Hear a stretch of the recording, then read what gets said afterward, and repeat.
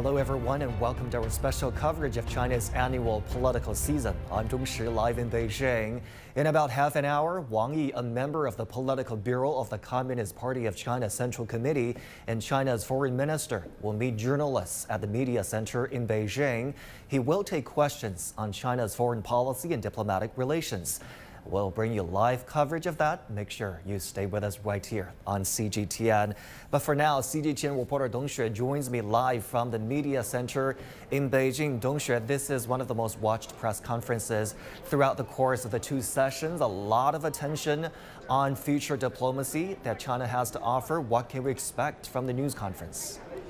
Exactly, Zhong as you mentioned, in about 20 minutes or so, political bureau member of the political bureau of the CPC Central Committee, the Chinese Foreign Minister Wang Yi, is set to meet the press to review China's foreign policies and external relations. And as you can see, probably behind me, you know, the conference hall is packed with the journalists from both home and overseas. Well, the briefing will be closely watched not only by us as reporters, but China watchers and many others from across across the globe amid global tensions and crisis in Gaza, Ukraine, and elsewhere. Well, the briefing is likely to touch on China's ties with the United States, which have improved since last year's leaders' meeting in San Francisco. But the Biden administration's latest move to curb Chinese electrical vehicles shows the extent of the challenges in stabilizing one of the world's most important bilateral relations. And there's also China's ties with Russia, which Beijing has repeatedly said that are based on principles of non-alliance, non-confrontation, as well as the non-targeting of third parties. And despite you know the mounting pressure from the West for China to take a harder stance against Moscow. And as for the EU, Chinese Foreign Minister Wang Yi has recently made a trip to Europe, visiting France, Spain, and Germany to obviously sending a signal to reduce the re region's reliance on the United States.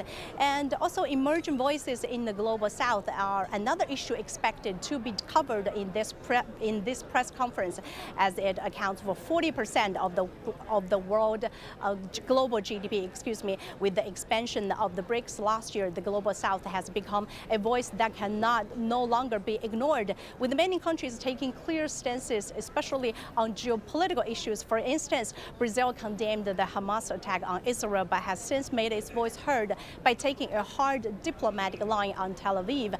And South Africa filed a case to the International Criminal Court, arguing Israel is breaching the UN Convention on Genocide by killing Palestinians in Gaza. And of course, China continues to call for a two-state solution to be implemented soon, a position backed by many other countries in the global south. And also, we're expecting, you know, uh, Wang Yi to give out China's uh, stance on the artificial intelligence regulations for the world and the, uh, and, and a lot of other uh, hot regional issues. So much to cover. Dong Xue will be monitoring that press conference here and hope to check back in with you later. Thank you so much for that preview. CGTN's Dong Xue at the Media Center. And China's diplomacy has been in full swing since the beginning of 2023, from bilateral and multilateral meetings to regional and global forums. China has continued to promote common prosperity and a more just international order, ensuring its achievements with the world. China's willingness to share development dividends was vividly demonstrated through a number of major diplomatic events the country hosted last year. Among them are the China Central Asia Summit in May and the Belt and Road Forum for International Cooperation in October. The first China Central Asia Summit saw the heads of state of the five Central Asian countries gather in northwestern city of Xi'an. It was the first in person summit between the two sides over 31 years since China established diplomatic relations with these countries.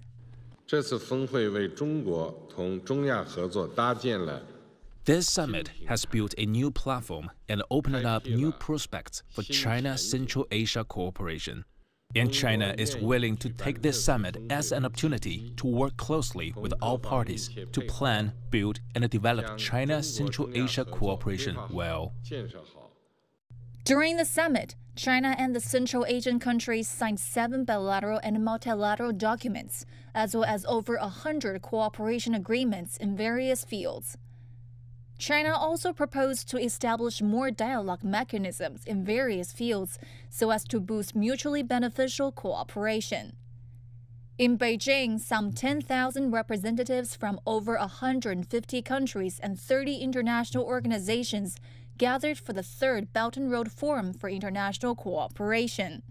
It's the most important diplomatic event hosted by China in 2023, as the year also marked the 10th anniversary of the Belt and Road Initiative. The Belt and Road Initiative was proposed by China. The achievements and opportunities brought by jointly building it belong to the world. That was proven by a total of 458 outcomes, with total cooperation agreements worth some 97 billion US dollars for 2023.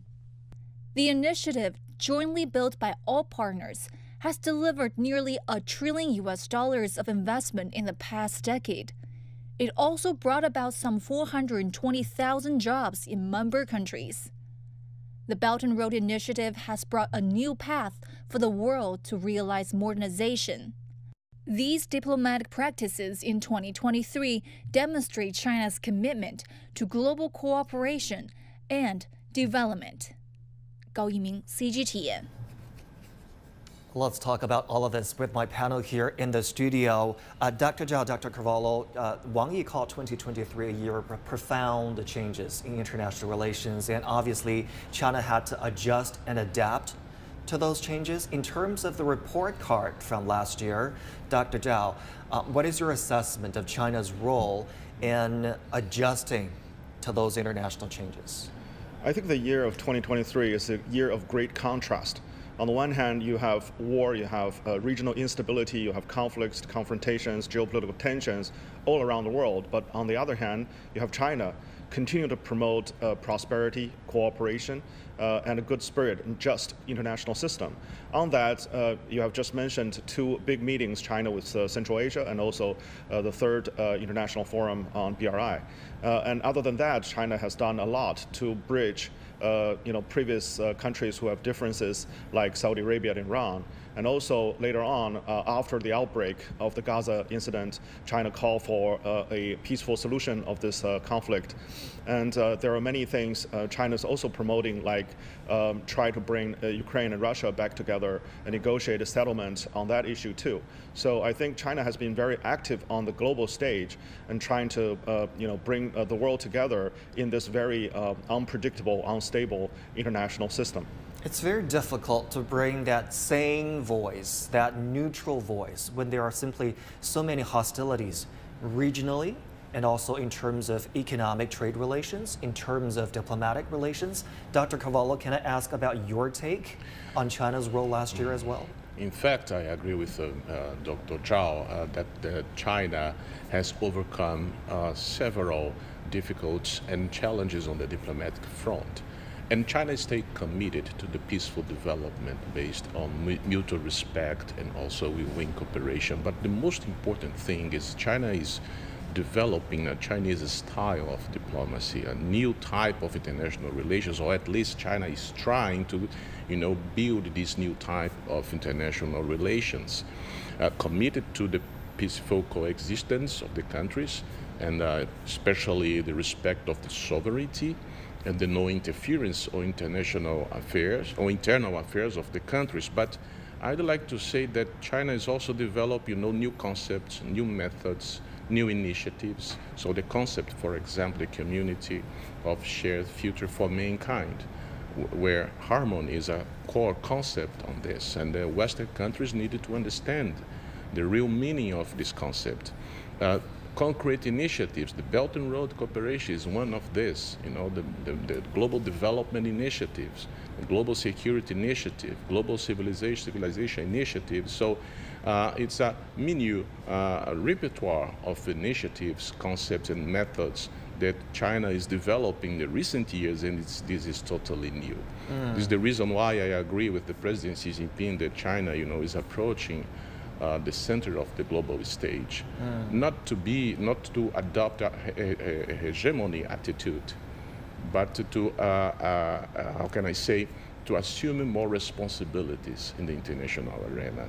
And this is totally new. With great power comes great responsibilities, and we'll be finding out more details about China's style of diplomacy later in our program, um, characterized by major country diplomacy and, of course, China's relations with members of the Global South. Gentlemen, stay with me here on our program. Thank you so much. And correspondent Panina Karibe has traveled from Nairobi to cover the two sessions in Beijing. She joins me now from the media center.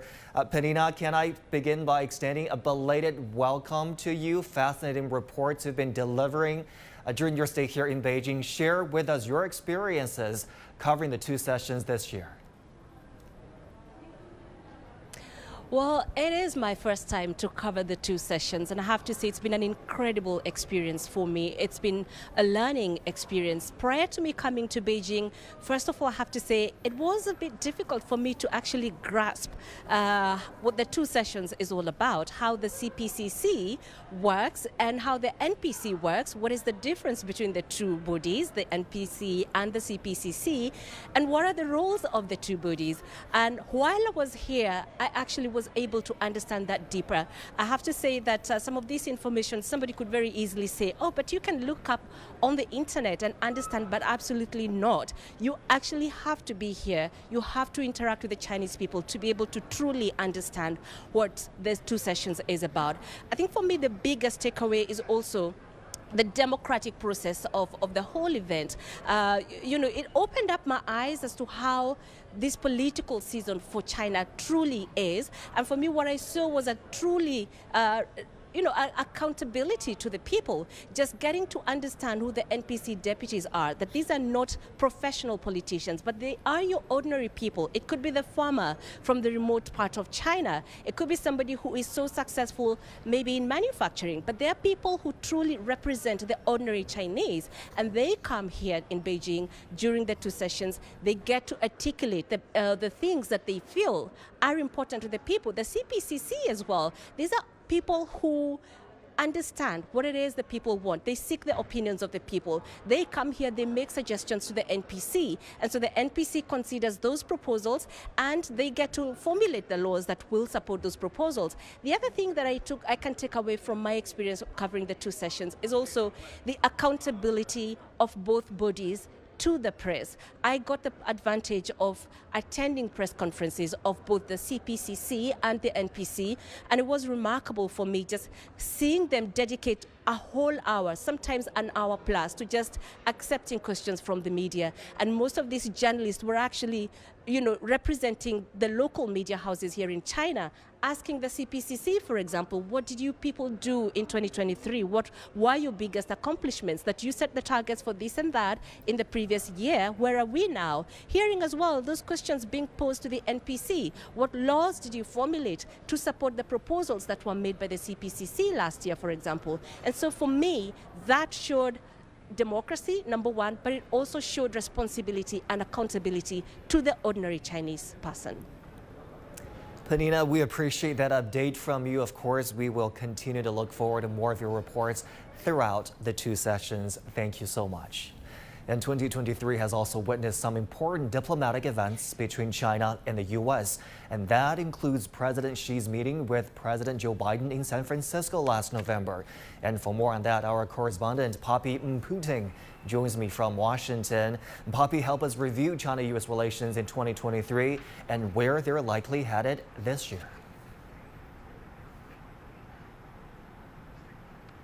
Well, this year's two sessions is pivotal for China-US relations. Washington has been accused of trying to limit Beijing's growth.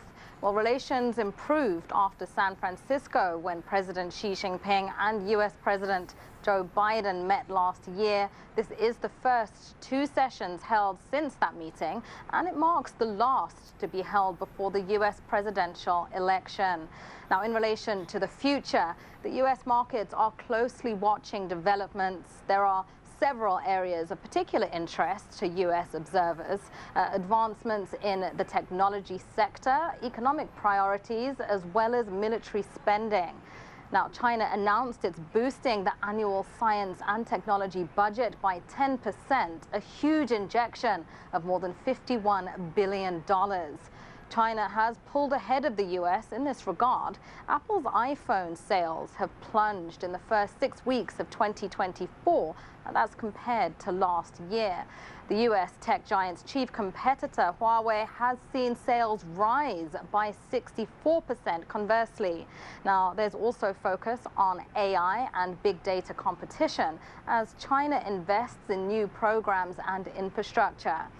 Well, zeroing in on the economy, investors note that China's 5% growth target for this year indicates a commitment to stability. China's plan involves issuing ultra-long special bonds to local governments. Now, there's also interest in how funds will contribute to infrastructure development. Investors are watching possible stimulus programs too that could emerge to bolster consumer spending.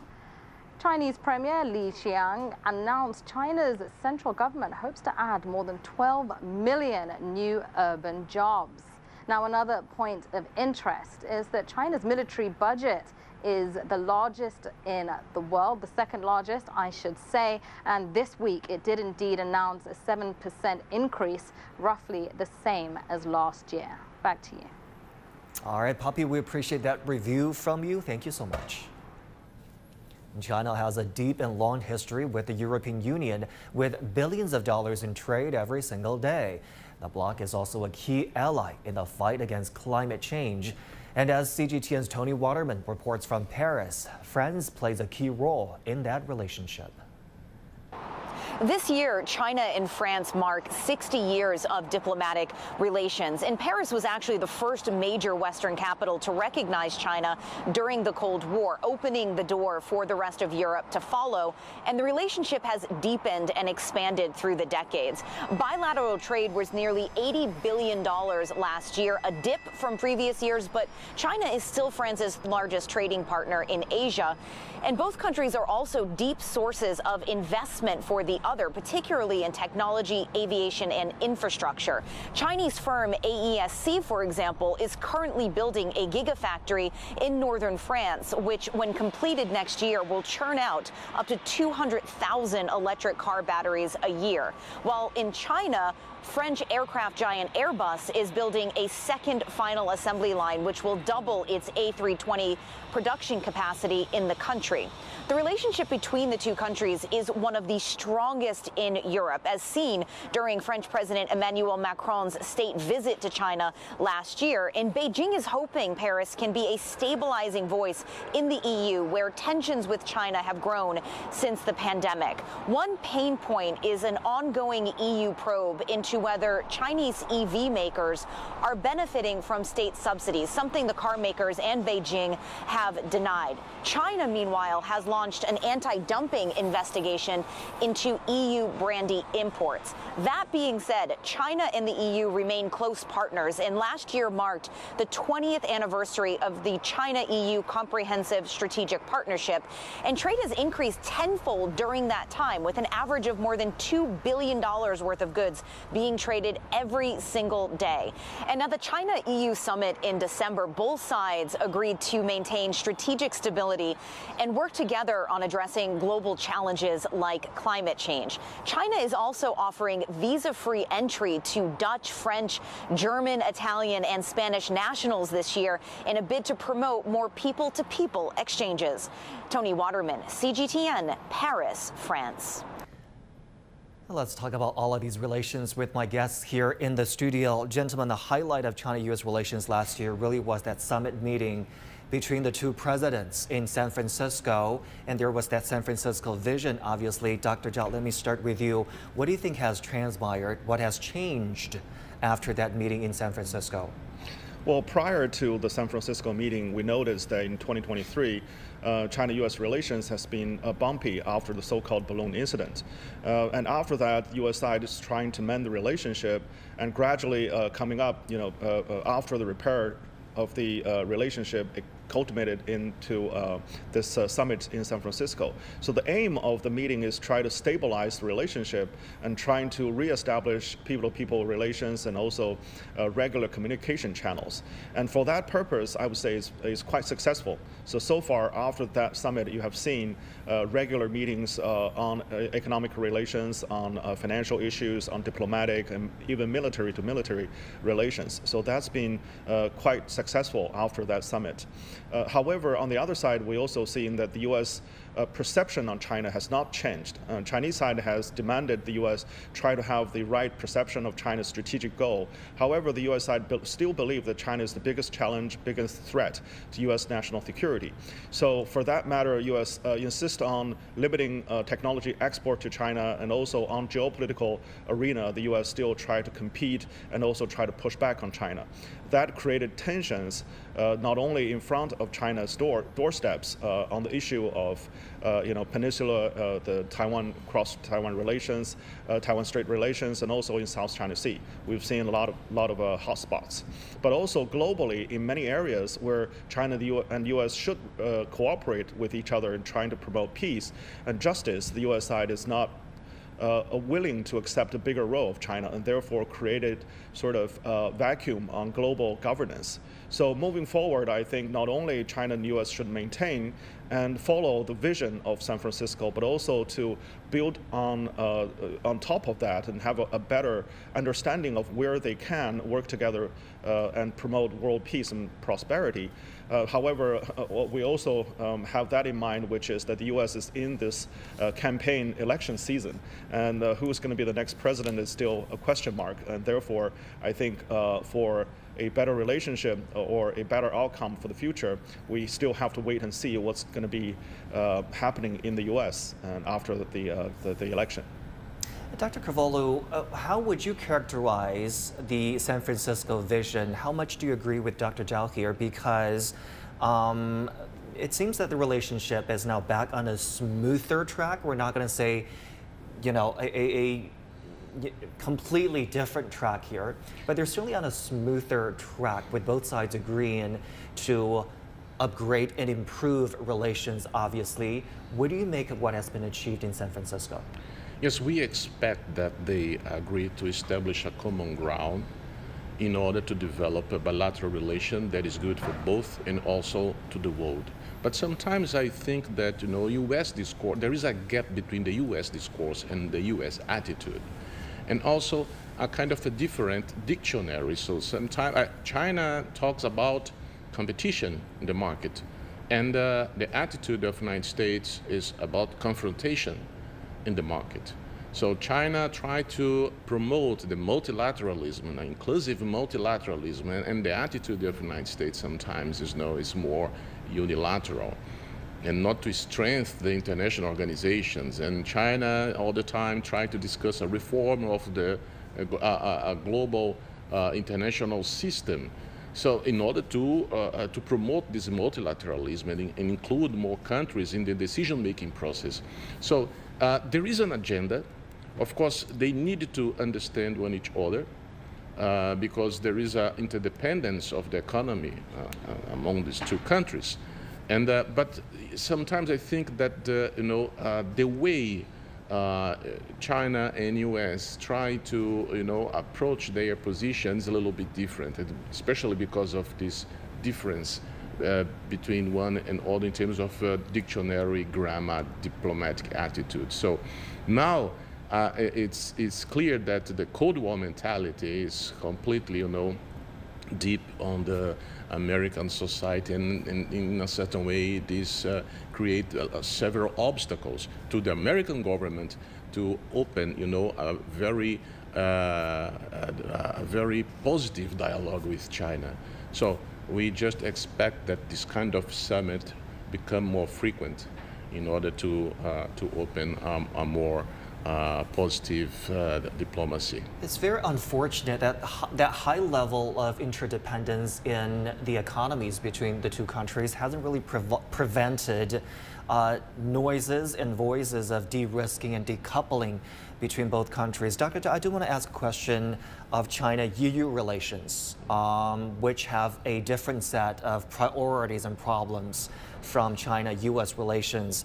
They are each other's second largest trading partners as of 2022, so trade obviously is a big issue here. So when you see European leaders, including the French president visiting China last year, uh, trade was very high on their agenda.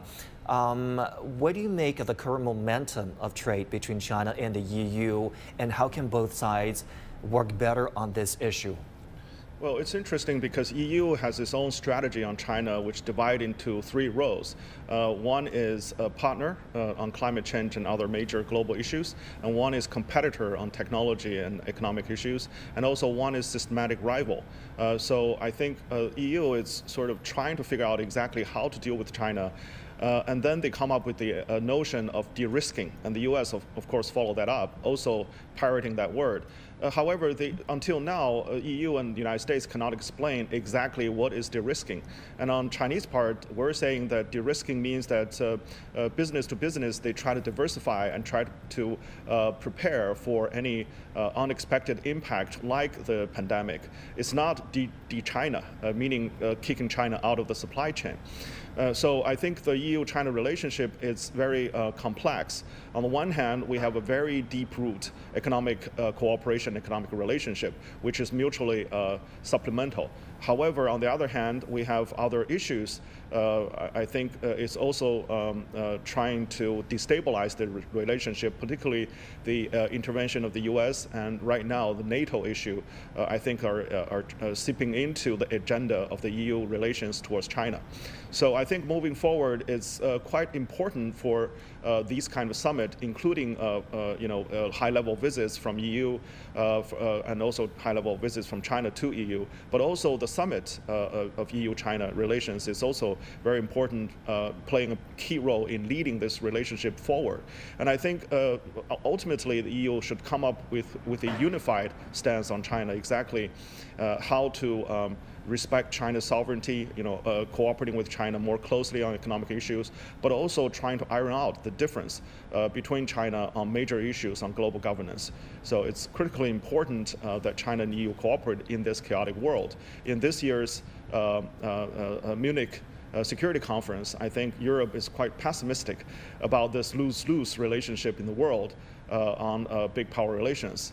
But in order to uh, come out of or supersede this kind of pessimism, I think it's, uh, again, uh, very important for EU and China work together on setting up the rules uh, for the future of the world and also follow those rules, uh, uh preventing uh, any other you know, country trying to destroy or deviate from the international standards of, mm. and, and these rules. Dr. Carvalho, Dr. Zhao mentioned the word de-risk here.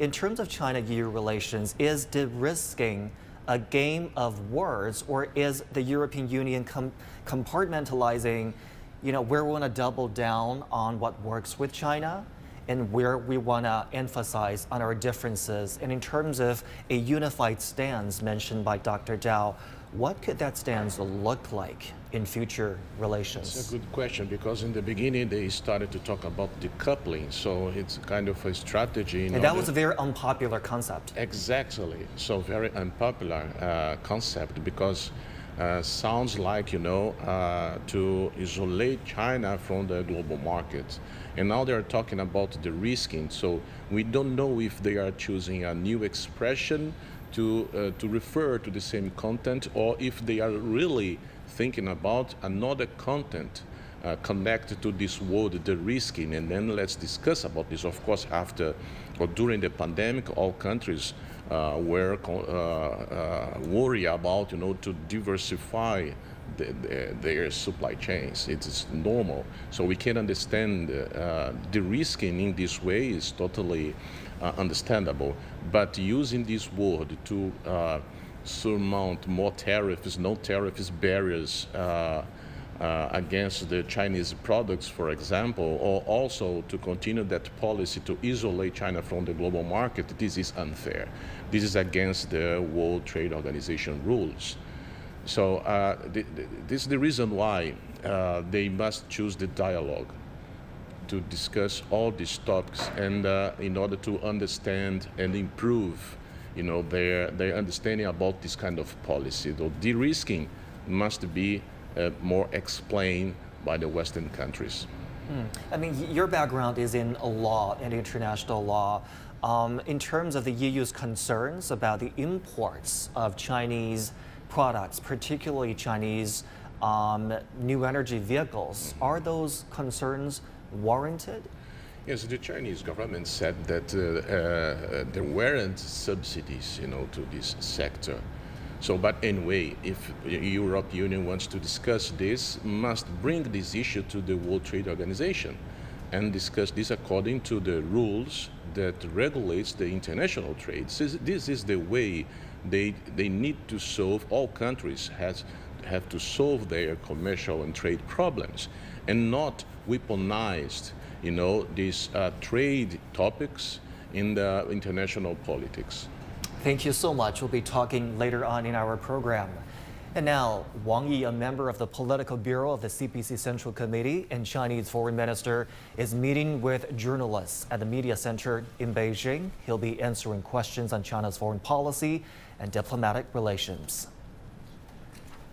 Of course, this is a very popular and one of the most watched press conferences throughout the two sessions, where we will likely hear questions regarding China's diplomacy in the last year and, of course, see directions of China's diplomacy going into 2024 in terms of major country relations and China's relations with other developing countries. 媒体朋友们。 Friends from the media, good morning. Welcome to this press conference for the second session of the 14th National People's Congress. Our topic today is China's foreign policy and external relations. We are delighted to have with us Mr. Wang Yi, member of the Political Bureau of the CPC Central Committee and Foreign Minister. He will brief you and take up your questions. Thank you. Friends from the media, good morning. I'm very pleased to meet you again during the NPC and CPPCC sessions. I heard that you arrived here very early. I salute your hard work. The world landscape today is undergoing profound transformation, and human society is confronted with multiple challenges. In this changing and turbulent international environment, China will remain a staunch force for peace, stability, and progress of the world.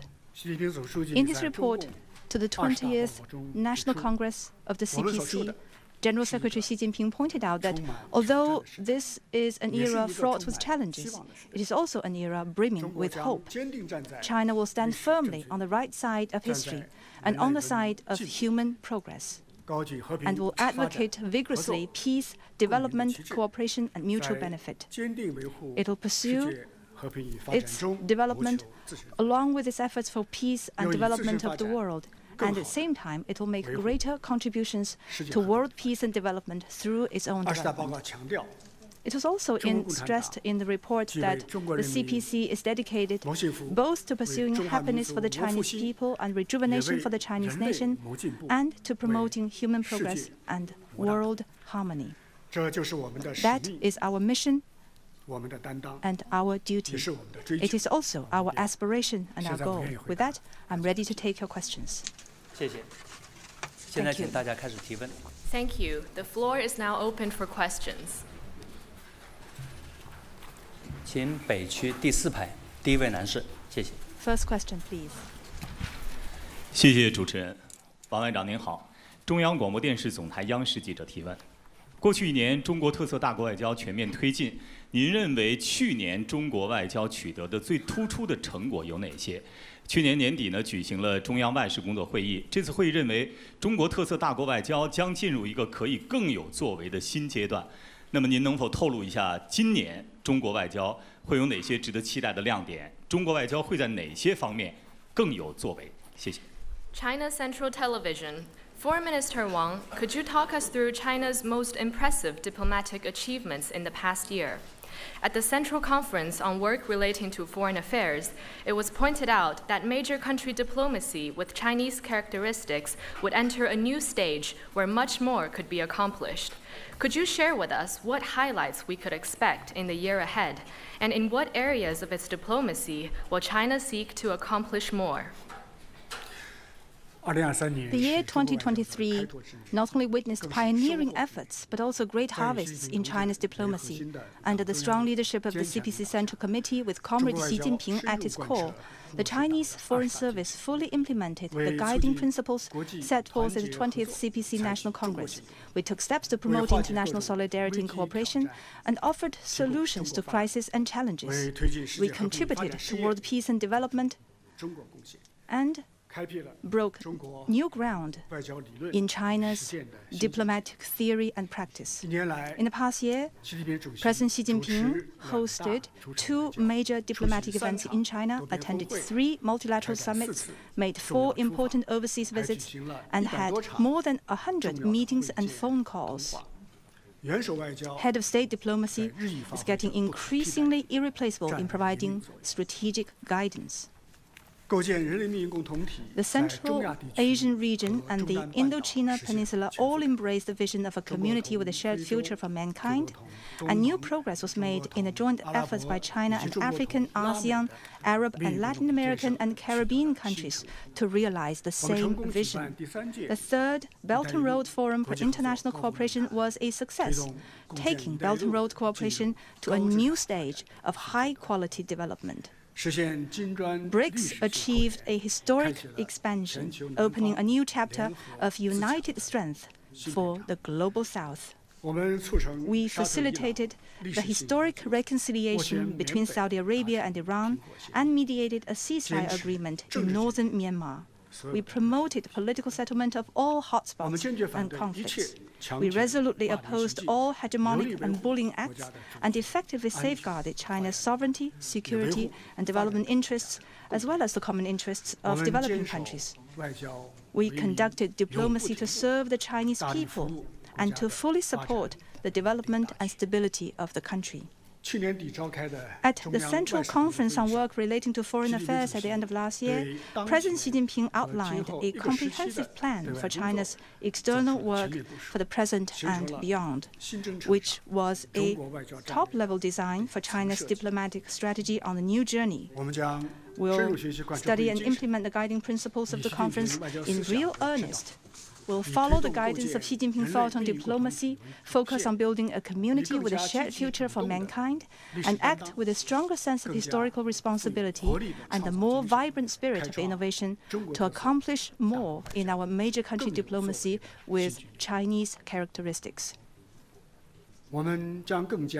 We'll be more confident and self reliant in cultivating the features of China's diplomacy.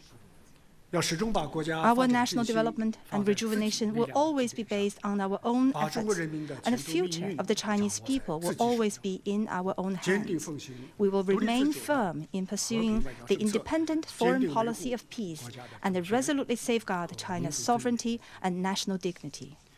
We will be more open and inclusive and conduct diplomacy with a broad vision.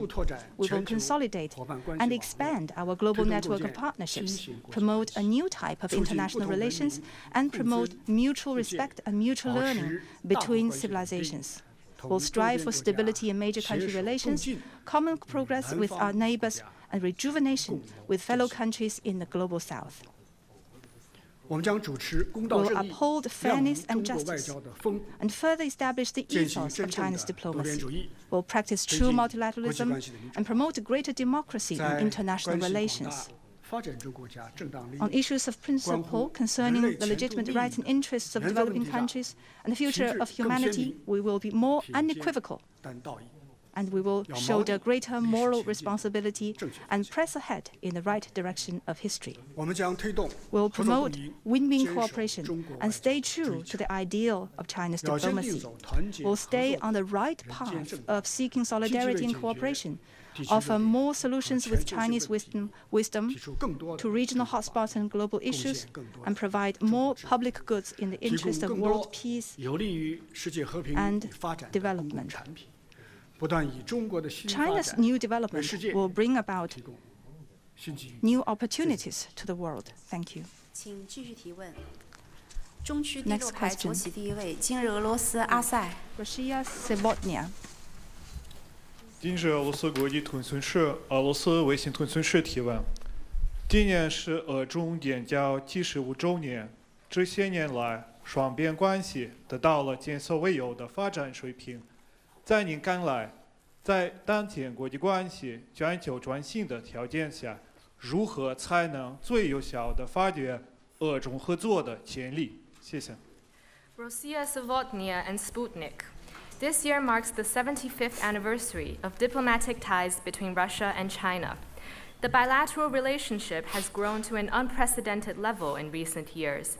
Given the ongoing global transition in international relations, what do you think is the most effective way to tap the potential of Russia China cooperation? 在习近平主席和 under the strategic guidance of President Xi Jinping and President Vladimir Putin, the China Russia Comprehensive Strategic Partnership of Coordination for the New Era has been moving forward on a high level. Political mutual trust is deepening, cooperation remains mutually beneficial and complementary to each other. The two peoples are enthusiastic about mutual exchanges. Last year, bilateral trade reached the record 240 billion US dollars, hitting the target of 200 billion US dollars ahead of schedule. Russian natural gas is fueling numerous Chinese households, and Chinese made automobiles are running on Russian roads. All this shows the strong resilience and broad prospects of China Russia mutually beneficial cooperation. Maintaining and growing the China Russia relationship is a strategic choice by the two sides based on the fundamental interests of the two peoples. It is also what we must do to keep pace with the trend of the world. As key major countries of the world and permanent members of the UN Security Council, China and Russia have forged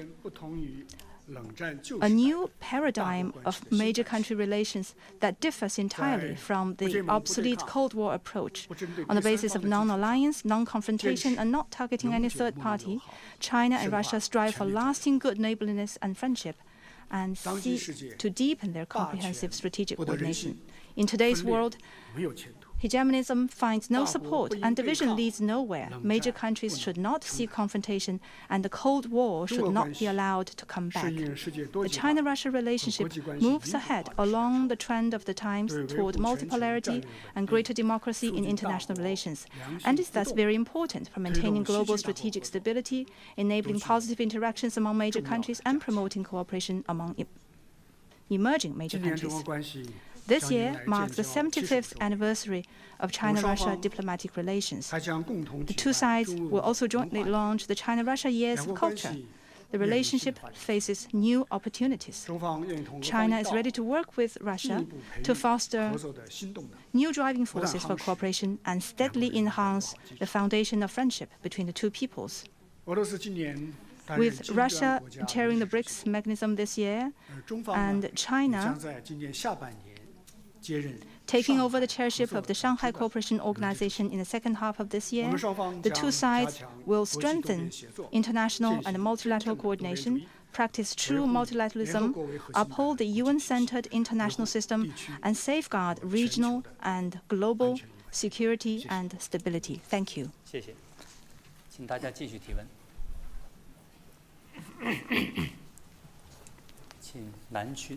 Next question, please. 谢谢。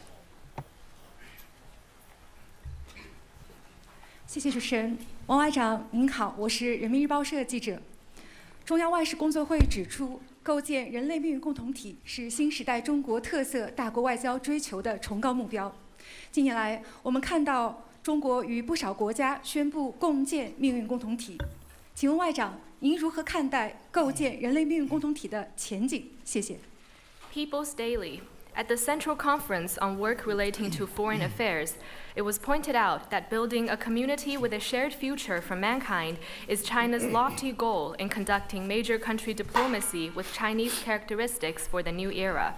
In recent years, China has announced it would strive for that goal together with quite a number of countries. How do you see the prospect of building a community with a shared future for mankind? Building a community with a shared future for mankind is the core tenet of Xi Jinping's thought on diplomacy. It is China's solution to the question of what kind of world to build and how to build it. President Xi Jinping has stressed many times that humanity live in the same global village and travel in the same boat, facing various global challenges coming our way. Countries should rise above their differences in history, culture, geography, and system, and work together to protect the Earth, the only inhabitable planet for us all, and make it a better place.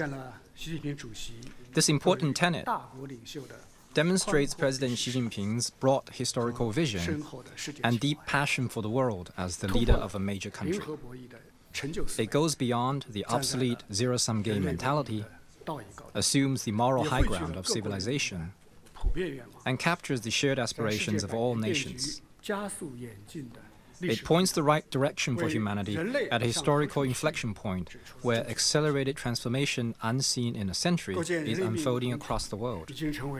Building a community with a shared future for mankind has become a glorious banner leading the progress of the times. It is also the lofty goal of our major country diplomacy with China's characteristics for the new era. It's been 10 fruitful years for this vision since President Xi Jinping put it forward. It has developed from a conceptual proposition to a scientific system, from a Chinese initiative to an international consensus, and from a promising vision to practical outcomes, showing strong vitality.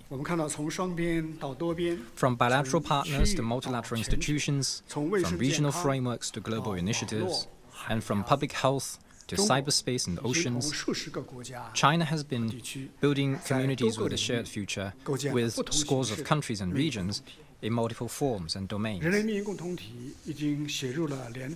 Time and again, the vision has been written into UN General Assembly resolutions as well as resolutions and declarations of the SCO, BRICS, and other multilateral mechanisms. The evolution of the international situation in recent years shows again and again that the number one reality in today's world is that all countries rise and fall together, and that the short path to meeting the challenges is mutual assistance and win-win cooperation. More and more countries and peoples have come to realize that the future of humanity should be decided by all countries together, and that the future of the world should be built by all peoples together. China is ready to work with all countries to build an open, inclusive, clean, and beautiful world of lasting peace, universal security, and shared prosperity.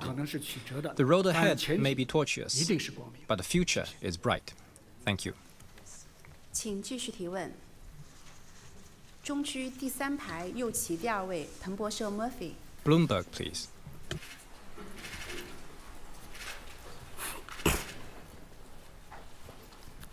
Uh, thank you. So, a question from Bloomberg. After last year's meeting in San Francisco, the China and the US agreed to jointly manage differences and promote mutually beneficial cooperation. Uh, since then, the US has continued to increase its trade and technological restrictions. My question is how does China think this trend will change in the next one to two years? And how does China plan to respond to this? Thank you. 彭博社， 自去年中美元首旧金山会晤后，中美就共同处理分歧、推进互利合作达成了共识，但美方仍持续对华增加贸易和科技限制。中方认为，未来一至两年间，这一趋势是否会有所转变？中方将如何应对？中美关系关乎 The China-US relationship is critical to the well-being of the two peoples and to the future of humanity and the world. No matter how the international landscape evolves, China always keeps its US policy stable and consistent, and always handles the relationship with a sense of responsibility for history, for the people, and for the world. Our position is the three principles proposed by President Xi Jinping mutual respect, peaceful coexistence, and win-win cooperation. They are a statement of the experiences and lessons of the 50-plus years of China-US relations, and represent the right way for interactions between major countries. They should be observed and acted upon by both sides. Specifically, mutual respect is the precondition, because interaction sustains only when differences in social and political systems are respected and acknowledged. Peaceful coexistence is the baseline. Because conflict and confrontation between two major countries like China and the US have unimaginable consequences. Win win cooperation is the goal. Because when working together, China and the US can do great things conducive to the two countries and the world. At the historic meeting in San Francisco last November, the two presidents reached common understandings and charted the course for stabilizing the China US relationship and bringing it back on the track of sound development. President Xi Jinping elaborated on China's fundamental approach and principled position on developing relations with the United States. President Biden reiterated that the U.S. does not seek a new Cold War, does not seek to change China's system, does not seek to revitalize its alliance against China, and does not support Taiwan independence. He also stated that the U.S. is glad to see prosperity in China and does not seek to contain or suppress China's development or to decouple with China. There has been some improvements in China-US relations since the summit in San Francisco. This meets the interests and wishes of the people of both countries and the world. But it has to be pointed out that U.S. misperception toward China continues, and U.S. promises are not truly fulfilled. The U.S. has been devising various tactics to suppress China and kept lengthening its unilateral sanctions list, reaching bewildering levels of unfathomable absurdity. If the US says one thing and does another, where is its credibility as a major country? If it gets jittery whenever it hears the word China, where is its confidence as a major country?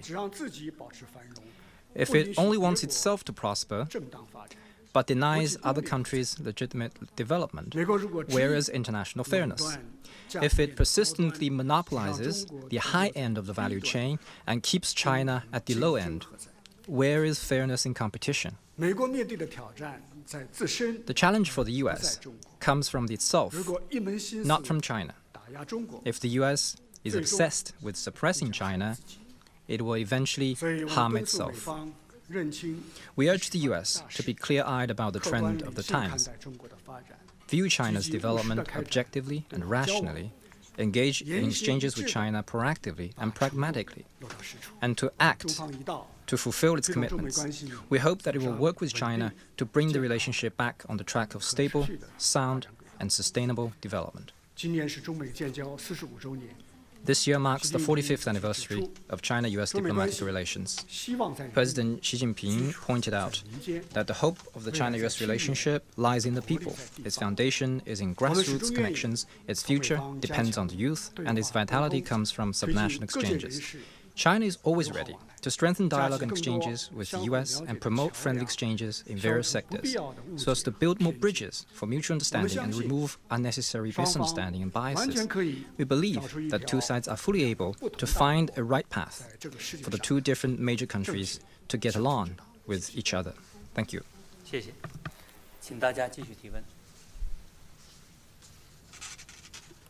请北区第三排第四位这位女士。Next question, please. 外长您好，我是新华社记者。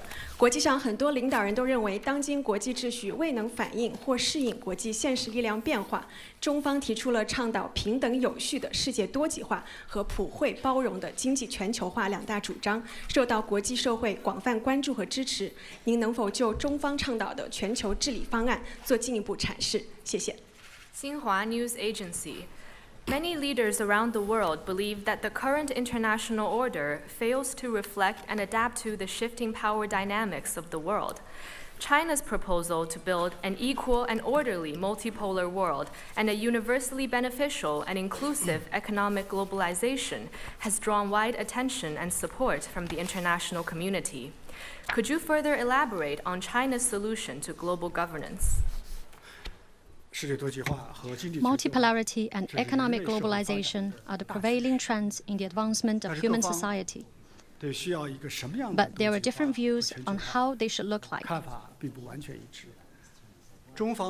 China believes in an equal and orderly multipolar world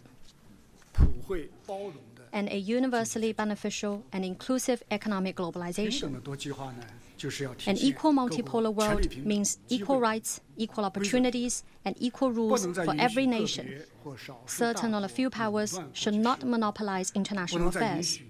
Countries should not be categorized according to their strength. Those with the bigger fist should not have the final say. And it is definitely unacceptable that certain countries must be at the table while some others can only be on the menu. We must ensure that all countries, regardless of their size and strength, are able to take part in decision making, enjoy their rights, and play their role as equals in the process toward a multipolar world. An orderly multipolar world means all should observe the purposes and principles of the UN Charter and uphold the universally recognized basic norms governing international relations. Multipolarity doesn't mean multiple blocks or fragmentation or disarray. All countries must act within the UN centered international system and pursue cooperation under global governance. Universally beneficial globalization means growing the economic pie and sharing it more fairly. All nations, all social groups, and all communities should be able to take part in economic and social development and share the benefits. Development imbalance, be it national or international, should be settled properly so as to realize common prosperity and development. Inclusive globalization means supporting countries in pursuing a development path suited to their own national conditions. No one should impose one single development model onto the whole world. Unilateralism and protectionism for selfish gains at the expense of others must be discarded to keep the global industrial and supply chains stable and unimpeded and to sustain the robust and dynamic growth of the world economy. China is ready to work with all countries to steer multipolarity and economic globalization toward the right direction as expected by the whole world, and to make global governance more just and equitable. Thank you. Next question, please. Nile News Egyptian Network. Thank you, Mr. President Wang, Mr. Uh, Minister Wang. Thank you. I'm Ahmed Mohammed uh, from Egyptian television. I working as a reporter and announcer in uh, Nine News uh, television. It's a governmental television in Cairo. Uh, from my observing on uh, ground when uh, covering Palestinian-Israeli conflict on the border with Gaza, I found the people suffering from hunger, stress, and the loss of all of safe livelihood. Uh, and another scenes of a large amount of uh, humanitarian aid waiting daily to enter to Gaza. So, how we can, uh, how can uh, the international community provide protection necessary for Palestinian people? And we know Chinese just position on the Palestinian question has been recommended by Arab countries. What will be the way out of the Palestinian-Israeli conflict? What role will China play to this end? Thank you. 埃及尼罗河电视台，王外长您好，在实地采访中，我发现加沙人民遭受饥饿，生计无着。 每天大量人道主义援助无法进入加沙，国际社会如何为巴勒斯坦人民提供必要保护？中方在巴勒斯坦问题上的公正立场受到了阿拉伯国家的赞赏。结束巴以冲突的未来出路是什么？中国还将为此发挥什么作用？你代表阿拉伯国家 You represent Arab countries, 非常重要。and it's a very important question that you've raised on behalf of them. The current Palestinian Israeli conflict has caused over 100,000 civilian casualties, and countless innocent people remain buried under the rubble. There is no distinction between noble and humble lives, and life should not be labeled by race or religion. The failure to end this humanitarian disaster today in the 21st century is a tragedy for humanity and a disgrace for, hum for civilization.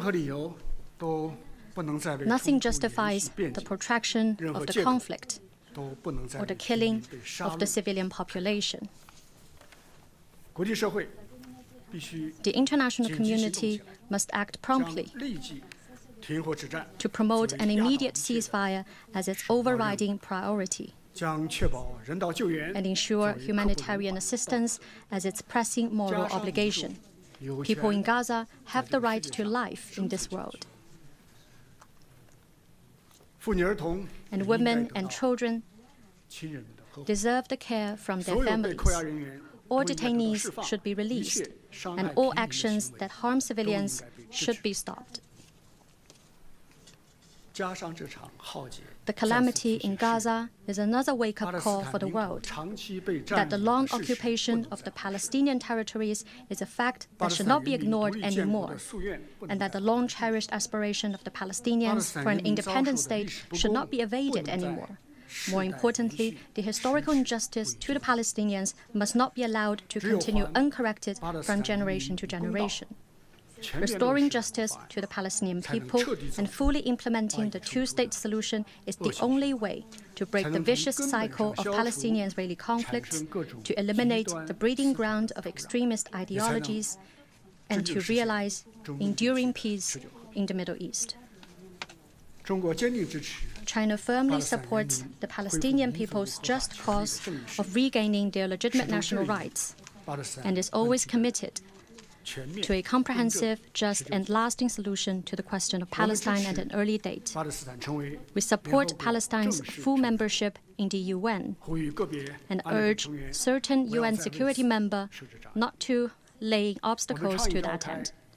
We call for a more broad-based, more authoritative, and more effective international peace conference to work out a timetable and roadmap for the two-state solution. We believe that Palestine and Israel should resume peace talks as soon as possible to achieve the ultimate goal that they coexist in peace as two states, and the Arab and Jewish peoples live in harmony as two ethnic groups. China will continue to work with the international community to restore peace, save lives, and uphold justice. Thank you. 请大家继续提问。请中区第二排。第 Next 二位女士 question, please. 谢谢主持人，王外长您好，北京青年报记者提问。我们注意到，过去一年来，中国先后为推动沙特和伊朗复交、缓和缅北局势、促进伊朗和巴基斯坦改善关系，采取了外交斡旋行动。这些行动都取得了很好的效果，成效也非常的显著，得到了有关方面和国际社会的高度肯定。有不少人都说，这样的事情只有中国才能做到。我们想问一下您，中国斡旋外交有何成功之道？谢谢。北京 Youth Daily.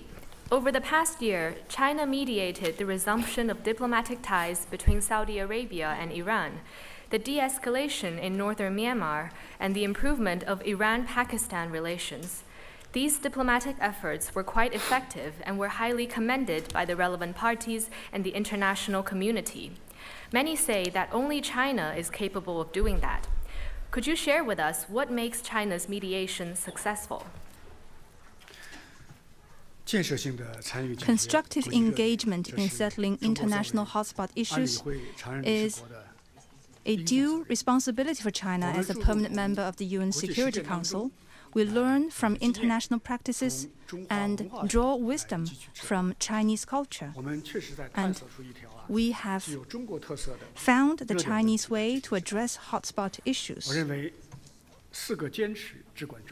In my view, the following four commitments are vitally important. First, we still need to uphold a commitment to non interference in internal affairs. China always respects the sovereignty and territorial integrity of the countries concerned and plays good offices in light of their needs and wishes and in line with the UN Charter. Second, a commitment to political settlement. In addressing disagreements and disputes, willful use of force should not be allowed, let alone relying obsessively on pressure and sanctions. What is needed is to advance dialogue and consultation with the utmost patience and find the biggest common ground that accommodates the needs of all sides. On all hotspot issues, China always promotes talks for peace. We never add fuel to the fire. Third, a commitment to objectivity and impartiality. China forms its stance based on the merits of each issue. We do not use double standards or favor one side over the other or seek selfish geopolitical interests. All peoples in the world have a sense of justice in their hearts. Credibility comes before influence. Fourth, a commitment to addressing both symptoms and root causes. It's important to deflate tensions as quickly as possible to prevent escalation or spillover. And at the same time, it is also crucial to look into the root causes in a systemic and dialectical way and take a holistic approach to resolving disputes. Band aid solutions are not advisable, nor are short sighted, utilitarian, or finger pointing tactics. Our world is far from being tranquil, and peace needs to be upheld by us all. We will work with all countries to build consensus for ending conflicts, pave the way for peace talks, and strive for a world of lasting peace and common security. Thank you. Next question. Agencia EFE. Uh, good morning, Lorena Cantor from EFE News Agency, Spain. Uh, Mr. Wang, uh, China's relationship with Europe seemed to slightly improve during uh, last year, but there are still some tensions. So, uh, what are China's expectations towards its relationship with, with Europe in the forthcoming months? And also, why do you think European countries have so far avoided joining the Belt and Road Initiative? Thank you. 西班牙埃菲社，中国与欧洲的关系去年有所改善。中国对欧洲有何期待？中方怎么看待有关欧洲国家不加入“一带一路”倡议？Last year was the 20th anniversary of the China-EU Comprehensive Strategic Partnership. The two sides relaunched exchanges and dialogue across the board at all levels. The China Europe Railway Express ran more than 17,000 cargo trips connecting 219 cities in 25 European countries. It is a lifeline that ensures safe and unimpeded industrial and supply chains in a turbulent world. China rolled out visa free policies for quite some European countries, facilitating travels and business exchanges. Uh, On the BRI you mentioned, in fact, there have been many successful China Europe cooperation projects under the initiative the Budapest Belgrade Railway Link, the port of Piraeus in Greece, and the Pelješac Bridge in Croatia are just a few typical examples. I remember a few years back, an EU policy paper labeled China as a partner, competitor, and systemic rival at the same time. However, facts have shown that this characterization is neither consistent with reality nor viable. On the contrary, it only caused distractions and created obstacles for China-EU relations. It's like driving to a crossing and finding the red, yellow, and green lights all along at the same time. How can you drive on? In fact, China and Europe do not have clashing fundamental interests between them or geopolitical and strategic conflicts. Their common interests far outweigh their differences. In the context of China EU relations, the two sides should be characterized rightly as partners. Cooperation should be the defining feature of the relationship, autonomy is key value, and win-win its future. We hope that China-EU relations will move ahead smoothly with green lights at every crossing. A strong Europe is in the long-term interests of China. Likewise, a strong China is also in the fundamental interests of Europe. China and Europe should work together to practice multilateralism, advocate openness and development, and facilitate dialogue between civilizations. We are still of the view that in today's world, as long as China and Europe engage in mutually beneficial cooperation, no attempt to create bloc confrontation will succeed. As long as China and Europe stay committed to openness and win-win, deglobalization will not prevail. Thank you. Next question, please. 联合早报杨丹旭。联合早报。谢谢主持人， 王毅外长您好。新加坡联合早报提问：台湾选举结束后，外界担忧台海的紧张局势会进一步的升级，并将冲击区域的和平与稳定。您认为两岸和平统一的前景是否变得更加暗淡了？您如何看待目前台海的局势？各方应该采取什么样的措施，避免紧张局势升级？谢谢。联合早报。Following the elections in the Taiwan region, there have been concerns that tensions will further rise across the Taiwan Strait and take a toll on peace and stability in the region. Do you think that the prospect of peaceful reunification is diminishing? What is your take on the current situation across the Taiwan Strait, and what measures should be taken to avoid further escalation?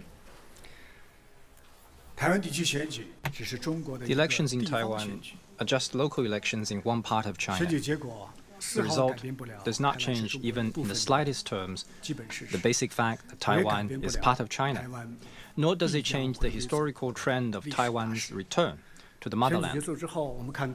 Since the elections ended, more than 180 countries and international organizations have reaffirmed their commitment to the One China principle and their support for China in safeguarding its sovereignty and territorial integrity.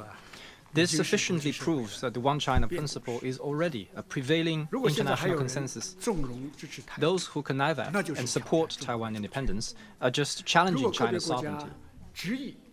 Certain countries that still insist on maintaining official relations with Taiwan are just interfering in China's internal affairs.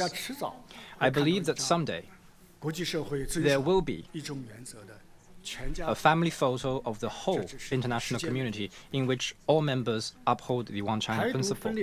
It is only a matter of time. The separatist activities for Taiwan independence are the most destructive elements to the peace and stability across the Taiwan Strait. To truly safeguard cross-strait peace, we must unequivocally oppose Taiwan independence.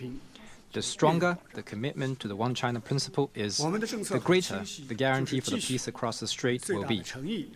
Our policy is quite clear. We will continue to strive for peaceful reunification with the greatest sincerity. Our bottom line is also quite clear. We will never allow Taiwan to be separated from the motherland. Whoever engaged in Taiwan independence on the island will be held accountable by history. Whoever in the world connive at and support Taiwan independence will get burned for playing with fire and taste the bitter fruit of their own doing.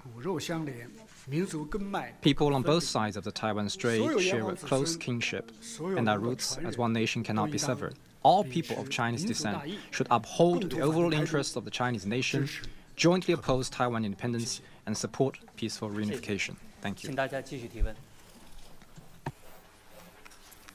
请中区第四排举手的第二位女士是。Next question, please. 谢谢主持人，王外长你好。环球时报环球网记者提问：去年中国周边外交以中国中亚峰会成功举行拉开帷幕，以中国越南将两国关系提升为具有战略意义的命运共同体圆满收官，可以说是红红火火、风生水起。外界认为这是中国亲诚惠容周边外交理念在不断生根发芽、开花结果。请问您对今年周边外交有何展望？Global Times China's neighborhood diplomacy in 2023 began with a successful China Central Asia summit and concluded on a high note with the agreement between China and Vietnam to build a community with a shared future that carries strategic significance. It was indeed a busy and fruitful year. Many believe that this shows China's pursuit of neighborhood diplomacy featuring amity, sincerity, mutual benefit, and inclusiveness has taken root and come to fruition. How do you envision China's neighborhood diplomacy this year? The Chinese people have a saying that a close neighbor is better than a distant relative. China and its neighboring countries will always be there for each other, and Asia is our common home. Making it a better place is the shared hope of all countries in the region. Since President Xi Jinping initiated our neighborhood diplomacy featuring amity, sincerity, mutual benefit, and inclusiveness, we have worked with our neighbors to open up new prospects for good neighborliness and friendship, and have found the distinctive Asian way for getting along well with each other. We stay committed to forging friendship with our neighbors. We respect each other's core and major concerns, maintain frequent high-level exchanges, and endeavor to increase mutual understanding and affinity among our peoples. The idea of good neighborliness and friendship has won stronger popular support, and the vision of a community with a shared future has taken root in the hearts of our peoples. We stay committed to treating each other with sincerity. We believe in seeking common ground while shelving differences, accommodating each other's comfort levels, enhancing under understanding and trust through candid communication, and settling differences and frictions through dialogue and consultation. We work together to tackle risks and challenges and stand side by side as good neighbors in trying times. We stay committed to mutual benefit. We make good use of our complementary strength to help each other achieve development and revitalization. A large number of cooperation projects, such as the China-Laos Railway, the China-Pakistan Economic Corridor, the China-Central Asia Natural Gas Pipeline, the China-Malaysia Twin Industrial Parks, and the Jakarta-Bandung High-Speed Railway, have boosted growth in the region. We stay committed to openness and inclusiveness. We practice open regionalism, take an active part in East Asian cooperation, support ASEAN centrality, and promote deeper and more substantive China, Japan, ROK trilateral cooperation. The China Central Asia Summit and the Lancang Mekong Cooperation Mechanism have made robust progress. The SCO has become a regional organization that covers the largest area and population in the world. This year marks the 70th anniversary of the five principles of peaceful coexistence. Although born in Asia, the five principles transcend differences in social system and ideology. They have become basic norms governing international relations and fundamental principles of international law, contributing the wisdom of the East to properly handling state-to-state relations. Seventy years later, the five principles of peaceful coexistence are not outdated. They're even more relevant and vibrant than ever. China stands ready to work with our neighbors to carry forward the five principles of peaceful coexistence toward building a community with a shared future for Asia and for mankind, so that Asia can continue to contribute to world peace and provide impetus to global growth. Thank you. 请继续提问。请南区 第四排中间位置，Sean。Next question, please. Good day, Mr. Minister and other members of the panel. I'm from uh, CGTN. Uh, I'm curious, the Ukraine crisis now has dragged on more than two years, and at the Munich Security uh, Conference just last week, uh, you talked about, or last month rather, you talked about all China has done to promote peace, but at the same time saying the conditions are not right to move forward with uh, peace talks at the negotiating table. When do you think conditions will be right, and what are you looking for to continue this pursuit for peace? Thank you. 中国国际电视台，乌克兰危机已持续两年有余。上月您出席慕尼黑安全会议时曾表示，中方所做的一切就是劝和促谈。现在回到谈判桌前的条件还不成熟。您认为条件何时才算成熟？在 On the Ukraine issue, China has all along held an objective and impartial position and promoted peace talks. President Xi Jinping had in-depth exchanges with world leaders, including those of Russia and Ukraine. China has also published its position paper, and its special representative has traveled intensively to mediate among different parties. As we speak, he is still during an ongoing trip in the region. And all our efforts point to one goal that is, to pave the way for ending the conflict and starting peace talks. One strong impression we got at the recent Munich Security Conference is that as more and more people begin to worry about a possible lose lose outcome, they are ready to create conditions to explore a reliable way out of this crisis. Past experience shows that a conflict, when prolonged, tends to deteriorate and escalate, even to the extent unthinkable for parties concerned. In the absence of peace talks, misperception and miscalculation will accumulate and may lead to an even bigger crisis. Lessons in this regard should not be forgotten. All conflicts have to end at the negotiating table. The earlier the talks start, the sooner peace will arrive.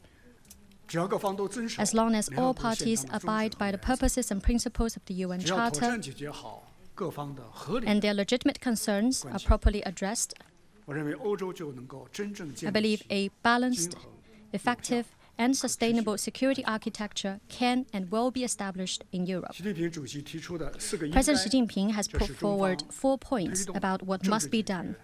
They are China's fundamental guide in seeking a political settlement of the Ukraine crisis.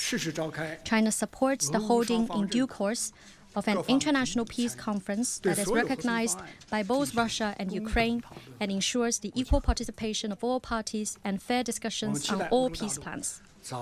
China looks forward to the early restoration of peace and stability on the European continent and will continue to play a constructive role to this end. Thank you.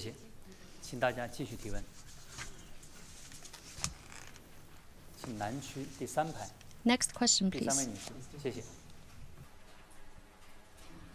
谢谢。谢谢主持人，外长您好，中新社记者提问。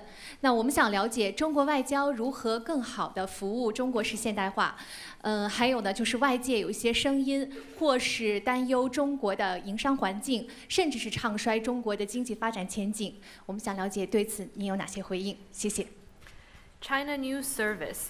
How will China's diplomacy better serve Chinese modernization? Some have expressed concerns over China's business environment and a pessimistic view on its economic prospect. What is your response? In fact, yesterday, many some Chinese ministers were here and they took questions from the media. And today, I'm also happy to take your question. As you may know, last year, China's economy grew by 5.2% last year, contributing to one third of global growth. It shows that China remains strong as an engine for growth. The next China is still China. I also wish to draw your attention to a number of new trends. First, China's development is driven not only by a reasonable growth in quantity, but also an effective upgrade in quality. Emerging industries are booming. Green transition has yielded impressive outcomes. Social expectation is improving steadily, and new quality productive forces are taking shape at a faster pace. Second, China's supersized market with over 1.4 billion people is unleashing opportunities for the world. The explosive growth of new demands and new business forms is rapidly expanding the room for China's own development and for its cooperation with the world. Third, China is opening its door wider as more substantive steps are taken in its high standard institutional opening up. China's overall tariff has been reduced to a level similar to developed country members of the World Trade Organization. Negative list for foreign investment is shortened to less than 31 items. All restrictions on foreign investment access in the manufacturing sector have been lifted. Opening up in the service sector is being advanced. Return on investment for foreign businesses is still one of the highest in the world. China prospers through interaction with the world, and the world becomes better off when China does well. Spreading pessimistic views on China will end up harming oneself, and misjudging China will result in missed opportunities. Economic diplomacy is an important part of our external work. We will continue to take steps to facilitate visits in China, including more convenient payment. I wish to share with you that starting from March the 14th, China will further extend, on a pilot basis, visa exemption to six countries, including Switzerland, Ireland, Hungary, Austria, Belgium, and Luxembourg. We hope more countries will offer Chinese citizens visa, visa facilitation and work with us to build fast track networks for cross border travels and encourage speedy resumption of international passenger flights. This will make it more convenient for Chinese citizens to travel abroad and make foreign friends feel at home in China. We will organize more tours outside the capital city for foreign diplomats in China and build more bridges for local governments and businesses to engage in international cooperation. We will work with competent departments to work on the negotiation and signing of more high standard free trade agreements expanding a global oriented network of free trade areas, and safeguarding the steady and smooth functioning of global industrial supply and data chains. We will join efforts to strengthen the various platforms for international cooperation, including the China International Import Expo, the China International Fair for Trading Services, the China International Consumer Products Expo, and the China International Supply Chain Expo. We will continue to make the business environment more market oriented, law based, and up to international oh, standards in an effort to stabilize expectations and provide longer term benefits to global investors and partners. Thank you. Next question, please. Antara News Agency. Thank you. Question from Antara Indonesia National News Agency. In July 2023, China and ASEAN member countries agreed to uh, foster the negotiation for a binding code of conduct for uh, Southeast South China Sea. Uh, but regarding this kind of situation, currently, uh, is China still optimistic for the negotiation? And if so, what does China offer for more uh, harmonious and peaceful for the code of conduct in South China Sea. Thank you. 印尼安塔拉通讯社，二零二三年七月，中国与东盟国家一致同意推动谈判，推进达成具有约束力的南海行为准则。为营造南海和平和谐环境，中方将在推动达成南海行为准则方面提出什么方案 The Chinese people.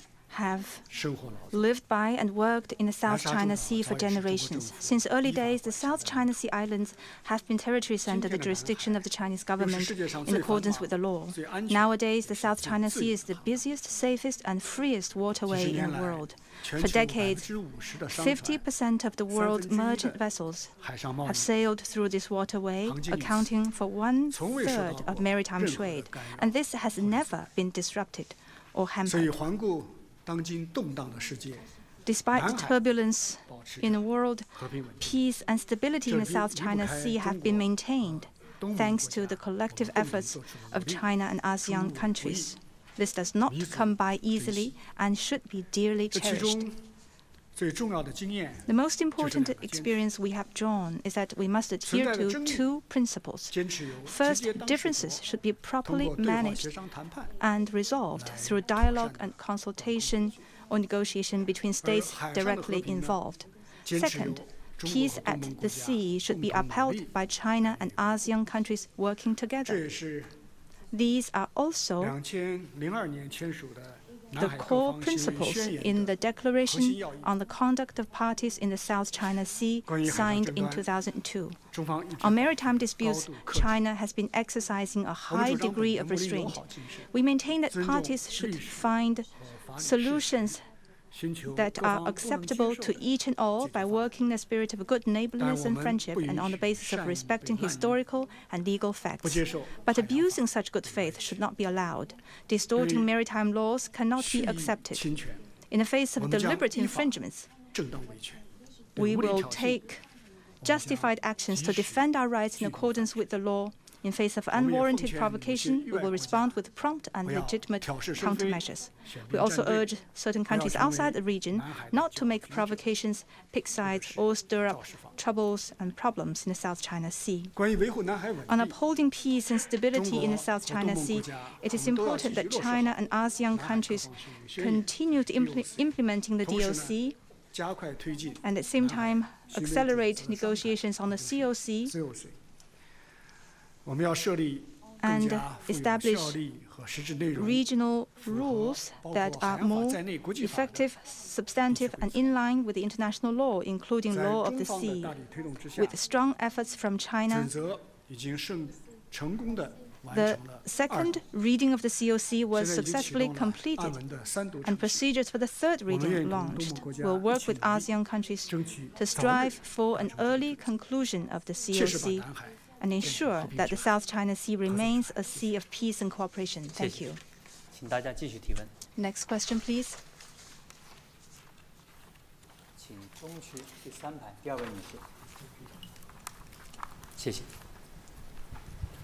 好，谢谢主持人，我是凤凰卫视、凤凰网、凤凰秀的记者。我们关注到的是人工智能方面的问题。最近国际社会也非常关注，那很多国家也提出了各自的关于人工智能全球治理的方案。我们也关注到，此前中国也提出了关于全球人工智能治理的倡议。想请问中方认为，如何才能够保障人工智能它是真正朝着有利于人类文明发展的方向去发展？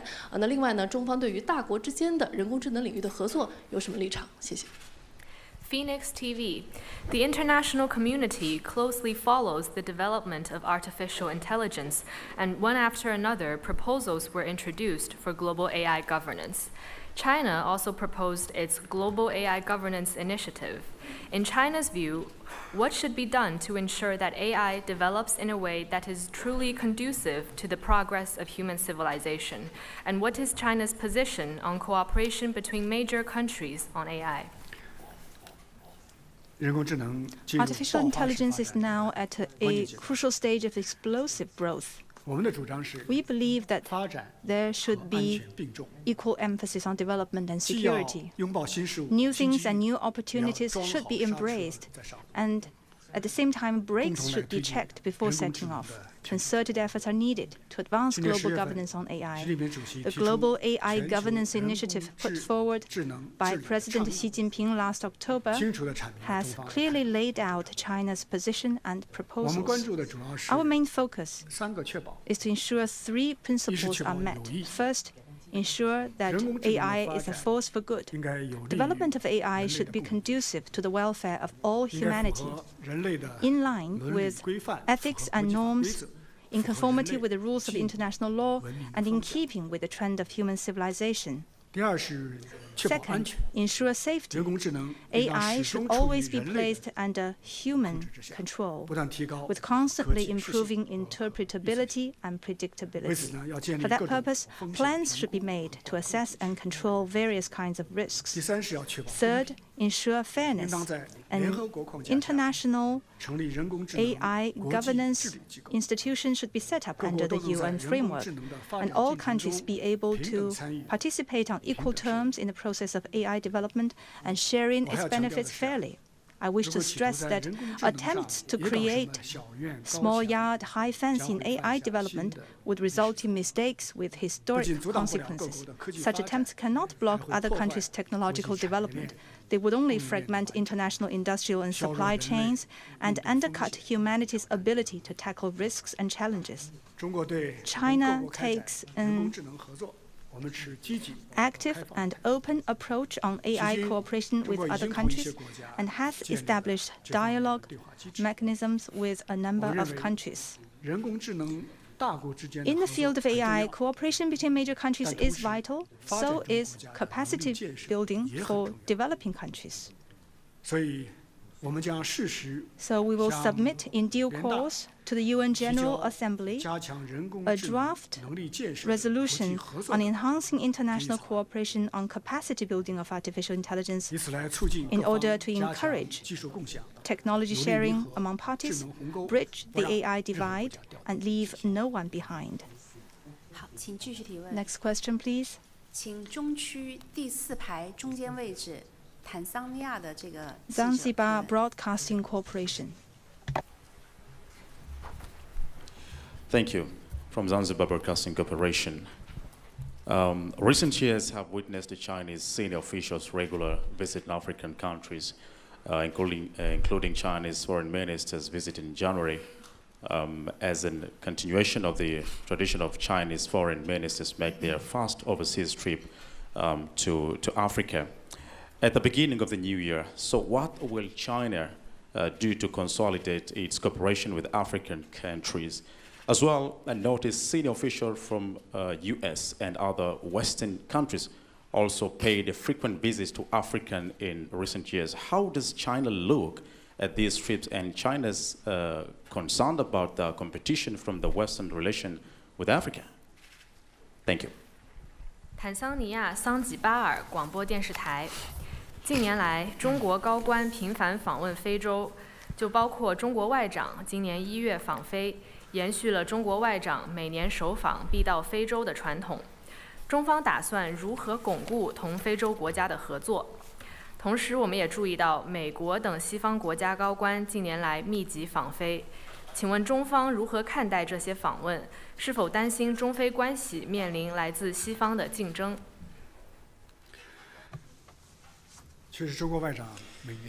？Chinese foreign ministers start their overseas visit every year with a trip to Africa. This is a tradition that has continued for 34 years.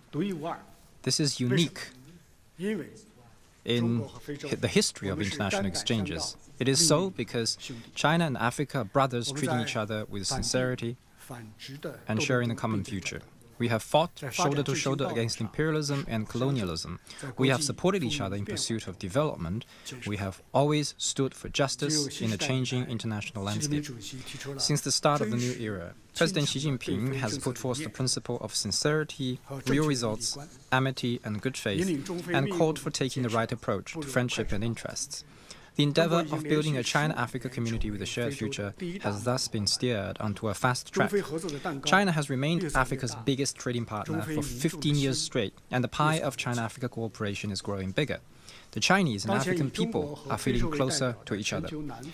The global south, including China and Africa, is growing fast and profoundly shaping the course of world history. African countries are experiencing a new awakening models imposed from outside have brought Africa neither stability nor prosperity. African countries need to explore development paths suited to their national conditions and keep their future and destiny firmly in their own hands. In this new historical process, China will continue to stand firmly with our African brothers and supports an Africa that is truly independent in thinking and ideas. China will assist Africa in building capacity for self-driven development and support faster modernization in Africa. China always holds that Africa should not be marginalized. While China-Africa cooperation thrives, other major countries have again turned their eyes to Africa. China welcomes that. We hope that, like China, all sides will pay greater attention to Africa and increase input to support Africa's development and support the development with real actions. On the basis of respecting the will of Africa, China stands ready for more trilateral and multilateral cooperation. The next meeting of the Forum on China-Africa Cooperation will be held in China this autumn. Chinese and African leaders will gather in Beijing again after six years to discuss future development and cooperation and exchange governance experience. I believe that through this summit, China and Africa will enhance their long-standing friendship and deepen unity and collaboration to open up new vistas for faster common development and start a new chapter for China-Africa community with a shared future. Thank you. Next question, KBS, please. 韩国广播公司记者提问：关于朝鲜半岛问题上，中国政府阐明了坚持维护和平稳定，坚持实现无核化，坚持通过对话协商解决问题的三大原则。中国政府能坚持这三大原则吗？另外，近期朝鲜半岛的紧张局势不断加剧，对此中方的解决方案是什么？谢谢。Korean Broadcasting System. On the Korean Peninsula issue, China has stated the three principles of promoting peace and stability, denuclearization, and settlement through dialogue and consultation. Are these still the positions of the Chinese government? Recently, tensions have been rising on the Korean Peninsula.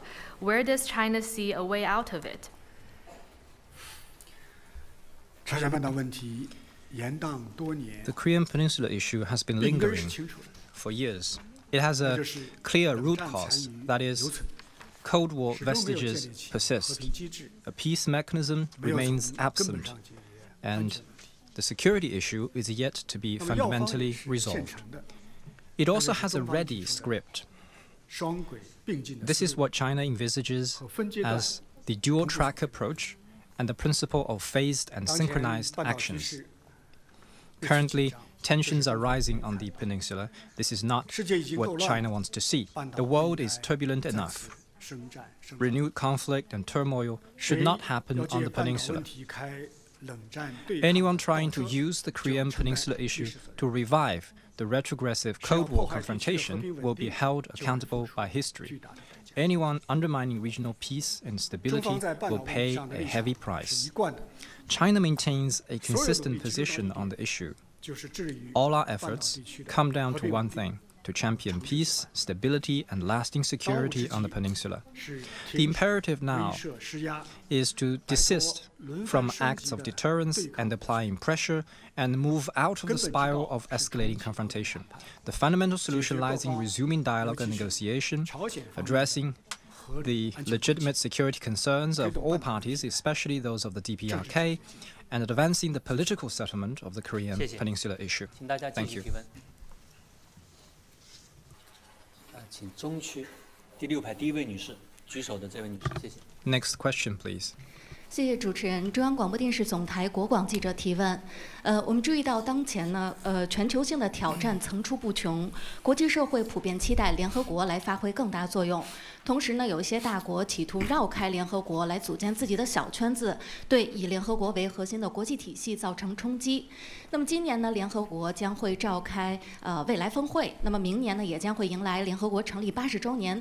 所以我们想请问外长，如何来看待联合国在这个国际事务当中发挥的作用？那么对于联合国的发展和改革又有怎样的主张？谢谢。China Radio International. With global challenges emerging one after another, the international community looks to the United Nations to play a bigger role.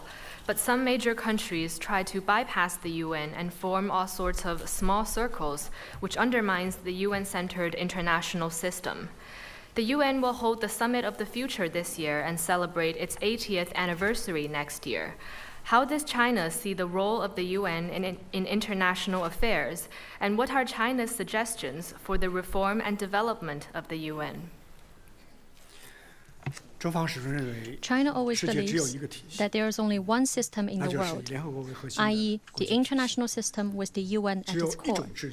There's only one order, i.e., the international order underpinned by international law. And there's only one set of rules, i.e., the basic norms of international relations based on the purposes and principles of the UN Charter. No country should do whatever suits it or reinvent the wheel. The crises and challenges seen in recent years serve as a repeated warning that the role of the UN should be strengthened, not weakened, and the status of the UN must be upheld, not replaced. Over the last 70 years and more since its founding, the UN has weathered wind and rain and withstood the impact of power politics. It remains the most universal, representative, and authoritative intergovernmental organization.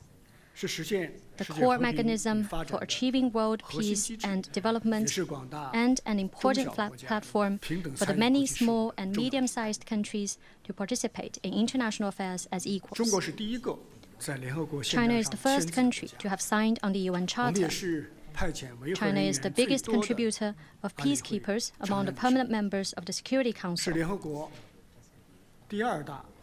and the second largest contributor to the UN's regular budget and peacekeeping assessment.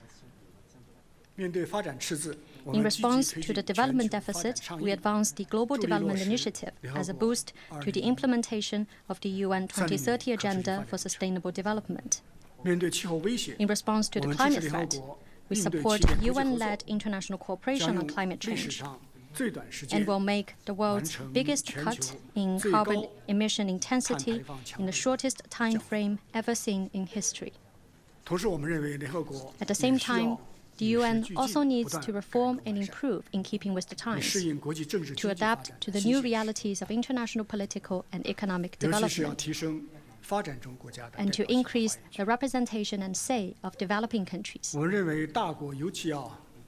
Major countries, in particular, need to assume their responsibilities and help the UN, including its Security Council, to better fulfill its mandate, build global consensus more effectively, mobilize global resources, and coordinate global actions. China supports the UN in holding the Summit of the Future and reaching a pact for the future that benefits all parties.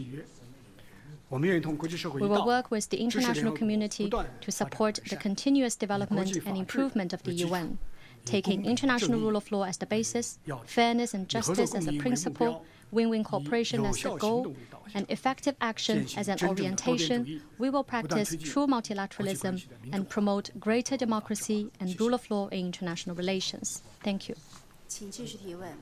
Next question, please. Associated Press of Pakistan. I represent Associated Press of Pakistan. Over the past 10 years, since President Xi Jinping put forward the Belt and Road Initiative, many countries have felt the tangible benefits from the initiative. Last year, China held the third Belt and Road Forum for International Cooperation, a grand event indeed.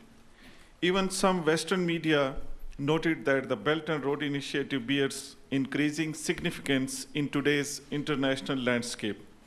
Could you share the outlook for Belt and Road cooperation in the next stage? Thank you. 巴基斯坦联合通讯社，习近平主席提出共建“一带一路”倡议十年来，很多国家都感受到了“一带一路”建设带来的实实在在的好处。 去年，中国举办了第三届“一带一路”国际合作高峰论坛，可以说是盛况空前。甚至一些西方媒体也认为，在当前国际形势下，“一带一路”价值更加突出。您对下阶段共建“一带一路”有何展望？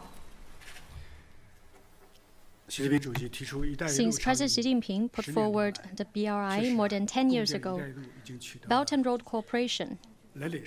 Has indeed produced fruitful outcomes. The BRI has become the most popular global public good and the largest platform for international cooperation. It has also become a pathway to cooperation, opportunity, and prosperity for partner countries seeking joint development. At the third Belt and Road Forum for International Cooperation, President Xi Jinping announced eight major steps that China would take. This marks a new stage in high quality development of Belt and Road cooperation. China will work with all parties to uphold the Silk Road spirit, deliver on the outcomes of the forum, and usher in a second golden decade of Belt and Road cooperation. We will promote the upgrading of physical connectivity. We will continue to develop a multi-dimensional global infrastructure connectivity network that is high quality, sustainable, and resilient, and covers sea, land, and air. We will accelerate the development of a digital Silk Road, redouble efforts to build a green Silk Road, and work with BRI partners in addressing various new challenges. We will promote the strengthening of institutional connectivity. We will stay committed to the principle of planning together, building together, and benefiting together, stick to the philosophy of open, green, and clean cooperation, and keep to the goal of pursuing high standard, people centered, and sustainable cooperation. We will seek greater synergy between the BRI and the development strategies of all sides, promote both signature projects and small and beautiful programs, and make active efforts for an open world economy. We want to make the BRI a lasting opportunity shared by all. We will promote the deepening of people-to-people connectivity. We will have more inter-civilizational dialogue among BRI partners, support non-governmental and subnational exchanges, and carry out a wide range of cultural and people-to-people interactions so that the Silk Road spirit will take hold in people's hearts. The type of modernization China pursues is not one that benefits China alone. We hope that high-quality Belt and Road cooperation will serve as an engine of the common development of all countries and, a, and an accelerator for the modernization of the whole world. Next question, please. Prensa Latina. Thank you. Good morning. Um, Prensa Latina News Agency. Minister, the strength of the Global South grew significantly last year. Cuba successfully hosted the summit of the Group of 77 and China, while the BRICS mechanism achieved historic expansion. Some Western media outlets and scholars believe that the rising global south is challenging the international order led by the West. As an important member of the global south, China has played an important role. What is China's comment on this matter? Thank you. 古巴拉美通讯社 去年全球南方力量显著增长，古巴成功举办了七十七国集团和中国峰会，金砖机制实现了历史性扩员。一些西方媒体和学者认为，全球南方的崛起正在挑战西方主导的国际秩序。中国作为全球南方的重要一员，在其中发挥了重要作用。中方对此有何评论？A stronger BRICS means growing force for peace and increasing support for justice.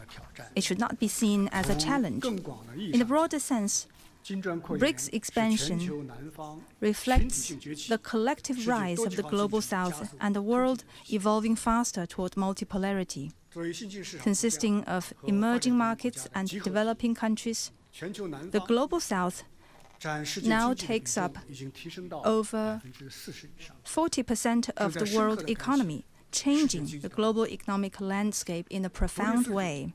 Independence is its distinct quality, and seeking strength through unity is its tradition.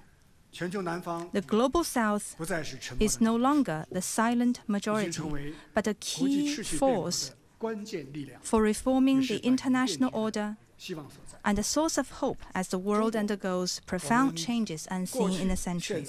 China was, is, and will be a steadfast member of the global south. We go through thick and thin and head toward a shared future together with countries of the South, and we are always a crucial force for the development and prosperity of the Global South. This year will be a year of harvest for Global South cooperation and a new starting point for unity among Asian, African, and Latin American countries. The China Arab States Cooperation Forum will celebrate its 20th anniversary. The China CELAC Forum will count 10 years of productive cooperation. Another FOCAC summit will take place in China this coming autumn. China looks forward to jointly celebrating the milestones with various parties and continuing to promote unity and cooperation among developing countries to augment the strength of the South. China also supports Russia in holding the summit of the Greater BRICS following its membership enlargement, and supports Brazil and Peru in holding the G20 Leaders Summit and the APEC Economic Leaders Meeting, respectively, to jointly create a shining South moment in global governance. Thank you. Next question, please. 请北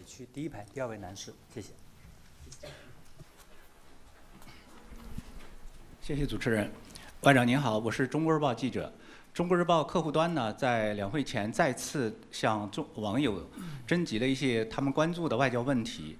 那么除了刚才提到的一些热点问题之外呢，他们关注到去年中国在苏丹紧急撤离行动中，呃，安全的撤出了一千五百多名的中国公民。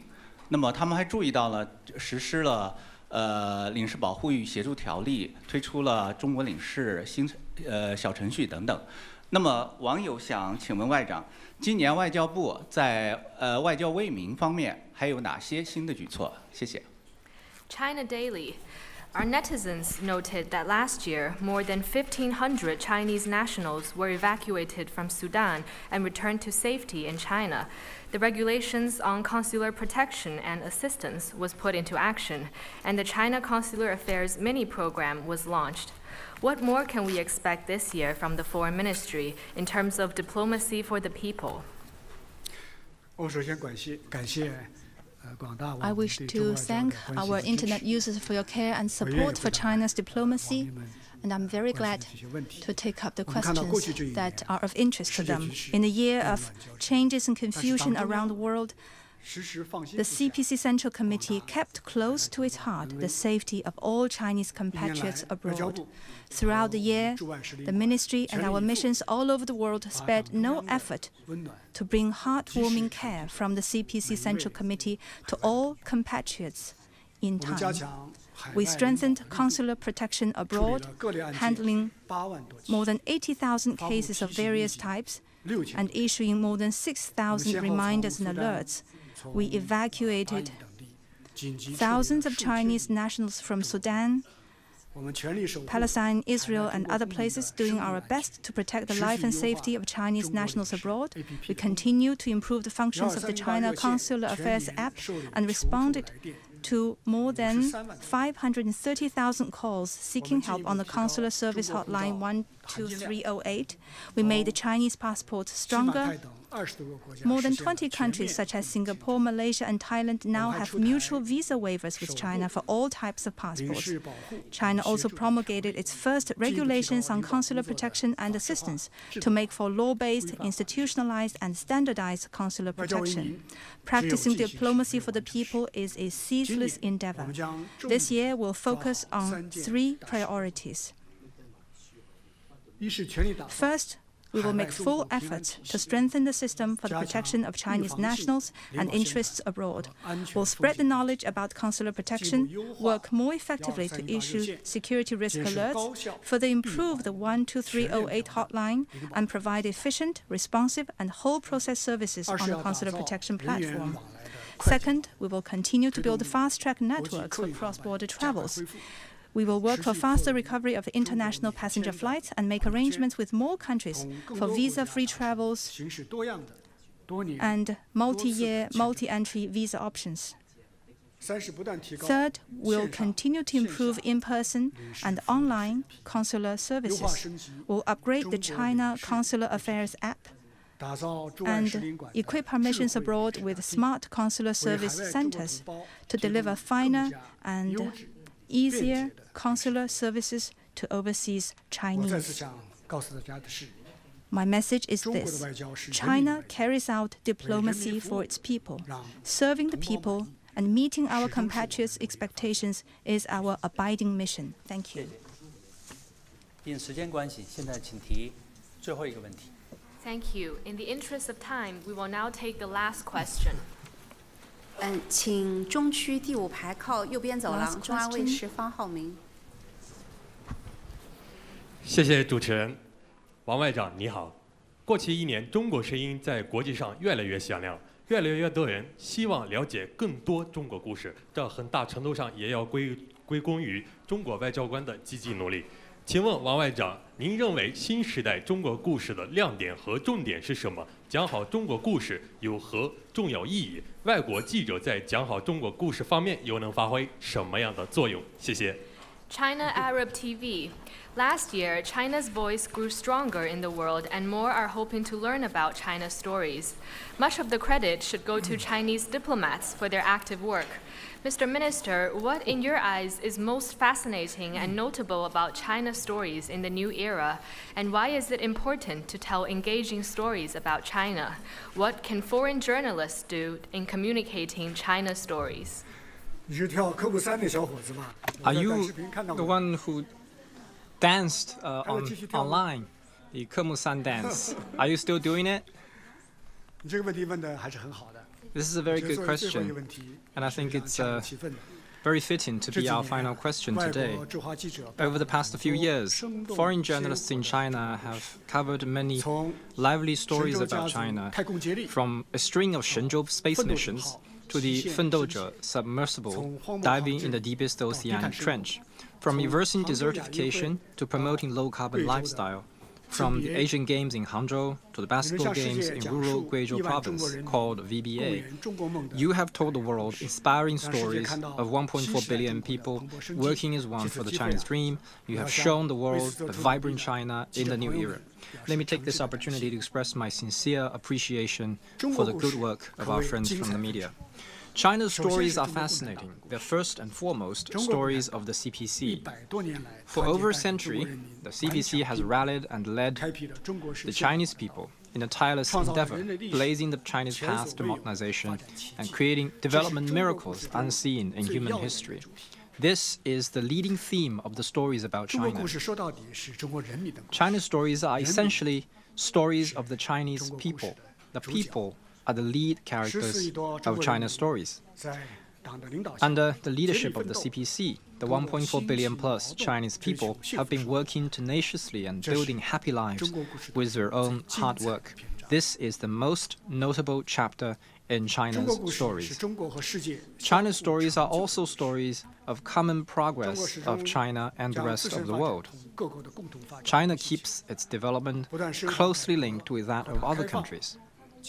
Taking determined steps to reform and open up, China has grown stronger and brought benefits to the world. This is the most far-reaching part of China's stories. You ask why good storytelling about China is important. People need to realize that China's stories do not exist in isolation. They are instead important chapters of the stories of humanity. They speak to a truth.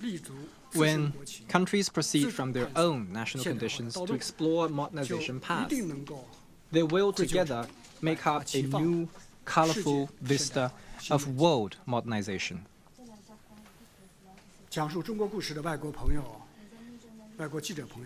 There are now more and more foreign journalists telling China's stories. I've learned that one of them sees it as a lifelong mission because China is a place that makes the impossible possible. So he believes this is not just a job, but a mission for him. I can see also more foreign influencers becoming popular with viewers from around the world for sharing their experiences in China. More foreign friends are welcome to join us in telling the stories of an energetic, bustling China and of China working hand in hand with other countries to build a community with a shared future for mankind. Thank you once again. Thank you. Friends from media, that is the end of the press conference today. Thank you, Minister Wang Yi. Thank, Thank you all. Friends from the media, this press conference now concludes. Thank you, Minister Wang, and thank you all. A live press conference there in Beijing on China's diplomacy and foreign affairs presided over by Mr. Wang Yi. A total of 21 questions were raised from members of the press covering a wide range of topics, everything from China's major country diplomacy, um, head of state diplomacy, to China's relations with members of the global south, to China's vision and ideas on global governance, as well as building a community of a shared future for mankind. Let's talk about that press conference with my guests here in the studio. Um, gentlemen, a lot of consistency in China's diplomacy, as you would hear from the foreign minister um, on a number of topics. He said, you know, China's stance is clear, China's position is clear, a lot of consistency, some fresh expressions, um, of course.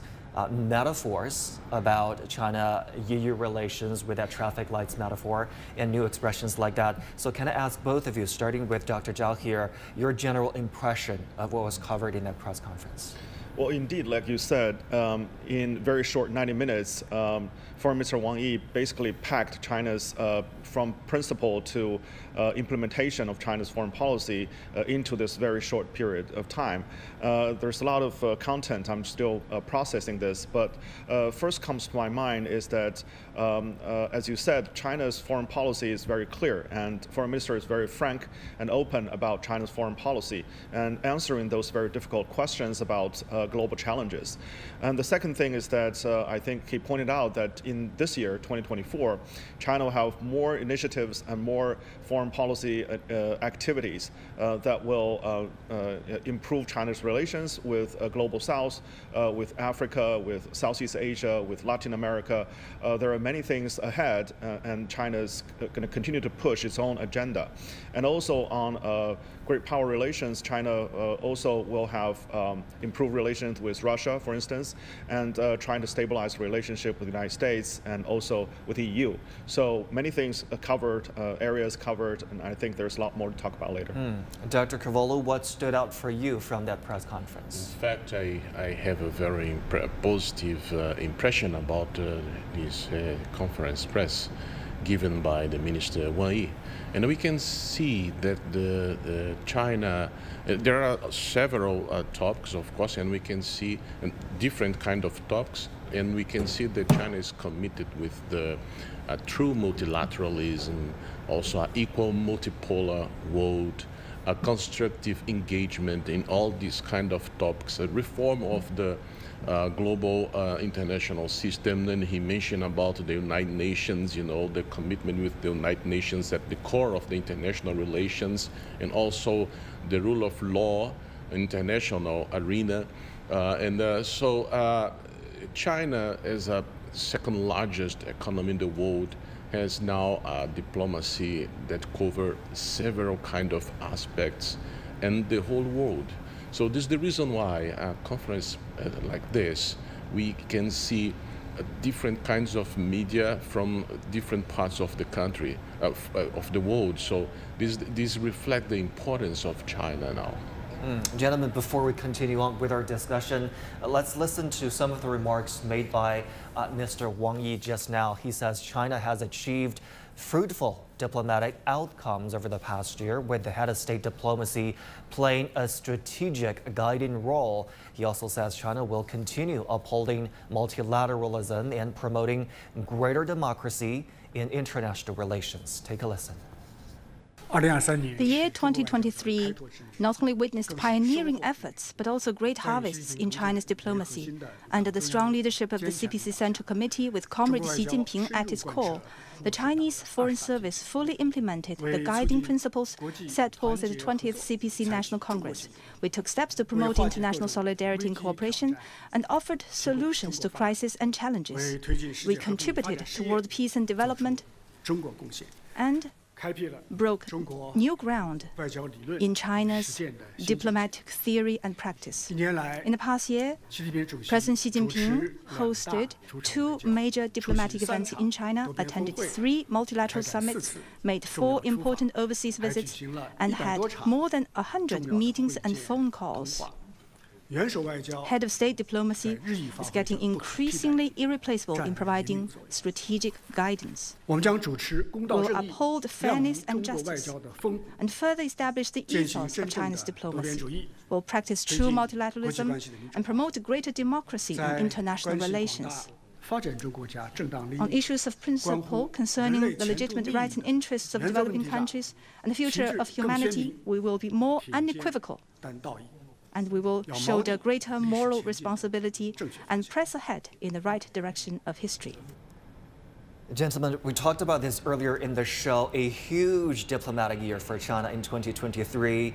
The president's visits, overseas visits, were a highlight. China taking the initiatives to hold events here in China, such as the China Central Asia Summit, the Third Belt and Road Summit, they were a highlight in China's mediation efforts in regional conflicts and for um, countries to resume diplomatic relations were a highlights. Uh, Dr. Carvalho, what were the biggest highlights for you for China's diplomacy last year? I think the Belt and Road, the third Belt and Road Forum, because it is announced that this project that completes 10 years uh, is still is important and uh, has more projects to the future. It means that the Belt and Road Cooperation enhanced its policy coordination, if its infrastructure, the trade, the people-to-people exchange, and uh, the President Xi Jinping announced that time, and the Minister Wang Yi mentioned in his conference now eight, eight major mm. steps, right?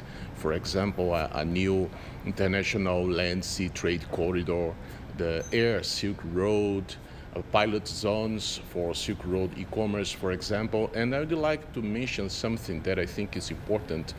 Uh, the President Xi Jinping also announced a lot of initiatives connect with the Museums Alliance, it's Silk Road Alliance of museums, libraries, theater.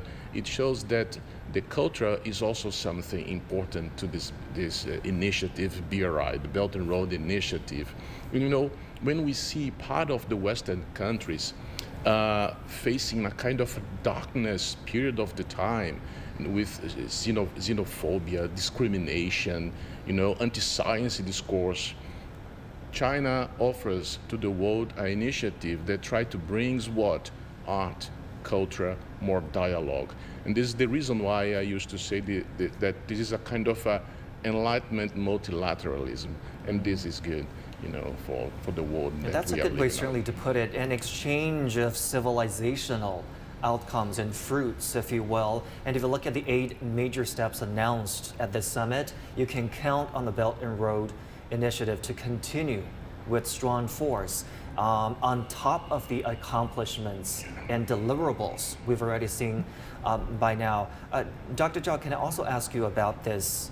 Um, what stood out for you well, um, what struck me uh, most and most refreshing, uh, I think, uh, foreign policy coming out of China last year is China is becoming a major international mediator for conflicts. And that's uh, very much an implementation of China's global security initiative. Uh, which means, and I, in this conference, press conference, uh, Foreign Minister Wang Yi particularly laid out four principles for China's mediation, uh, which means uh, number one, non-interference, Number two, impartiality. Uh, number three, uh, political, uh, insisting on political settlement. And lastly, um, address both symptom and origin of the conflict. And that is very important because previously other countries and even uh, many European countries played a role in uh, intermediating uh, global conflicts.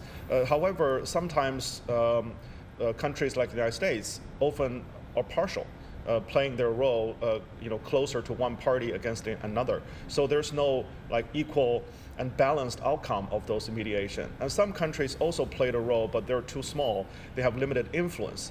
For China to come out, promote peace, and trying to bring two parties together, uh, we achieved quite a success in within one year as uh, Foreign Minister Wang Yi pointed out, that we have successfully bridged difference between Iran and Saudi Arabia, also in Myanmar, and as well as in Pakistan-Iran conflicts. So those are uh, important things, and other countries are looking at China for further uh, activities and trying to bring peace in uh, Ukraine conflicts, for instance, and also in Gaza. great points, great influence, and great outcomes. Gentlemen, let's hear more from that press conference where Wang Yi also talks about China-U.S. relations. He says that China has always kept its policy stable and stresses three principles. Our position is the three principles proposed by President Xi Jinping mutual respect, peaceful coexistence, and win win cooperation. They are a statement of the experiences and lessons of the 50 plus years of China US relations and represent the right way for interactions between major countries. They should be observed and acted upon by both sides. Specifically, mutual respect is the precondition because interaction sustains only when differences in social and political systems are respected and acknowledged. Peaceful coexistence is the baseline. Because conflict and confrontation between two major countries like China and the US have unimaginable consequences. Win win cooperation is the goal.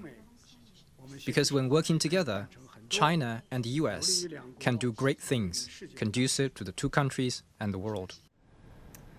I mean, it's certainly a very positive thing that both countries are acknowledging an improvement since San Francisco. That's what both leaders wanted. That's what both peoples wanted. But obviously, when Mr. Zhao talked about perceptions, it seems that the misperceptions continue from the U.S. side. And obviously, Mr. Wang Yi was disappointed that the promises made by the U.S., um, a lot of them unfulfilled. So, uh, Dr. Zhao, uh, what do you make of the statements from um, Mr. Wang, uh, the foreign minister Wang Yi here, on what has been achieved and what has not been achieved since San Francisco? Well, uh, I think uh, there are problems on both sides, but primarily on American side. So I think after the summit, uh, and even before that, uh, Foreign Minister Wang Yi has said that very clearly that China's principle last uh, is deriving from 50 plus years of experience, and those three three principles apply to this very major, very important uh, critical relationship.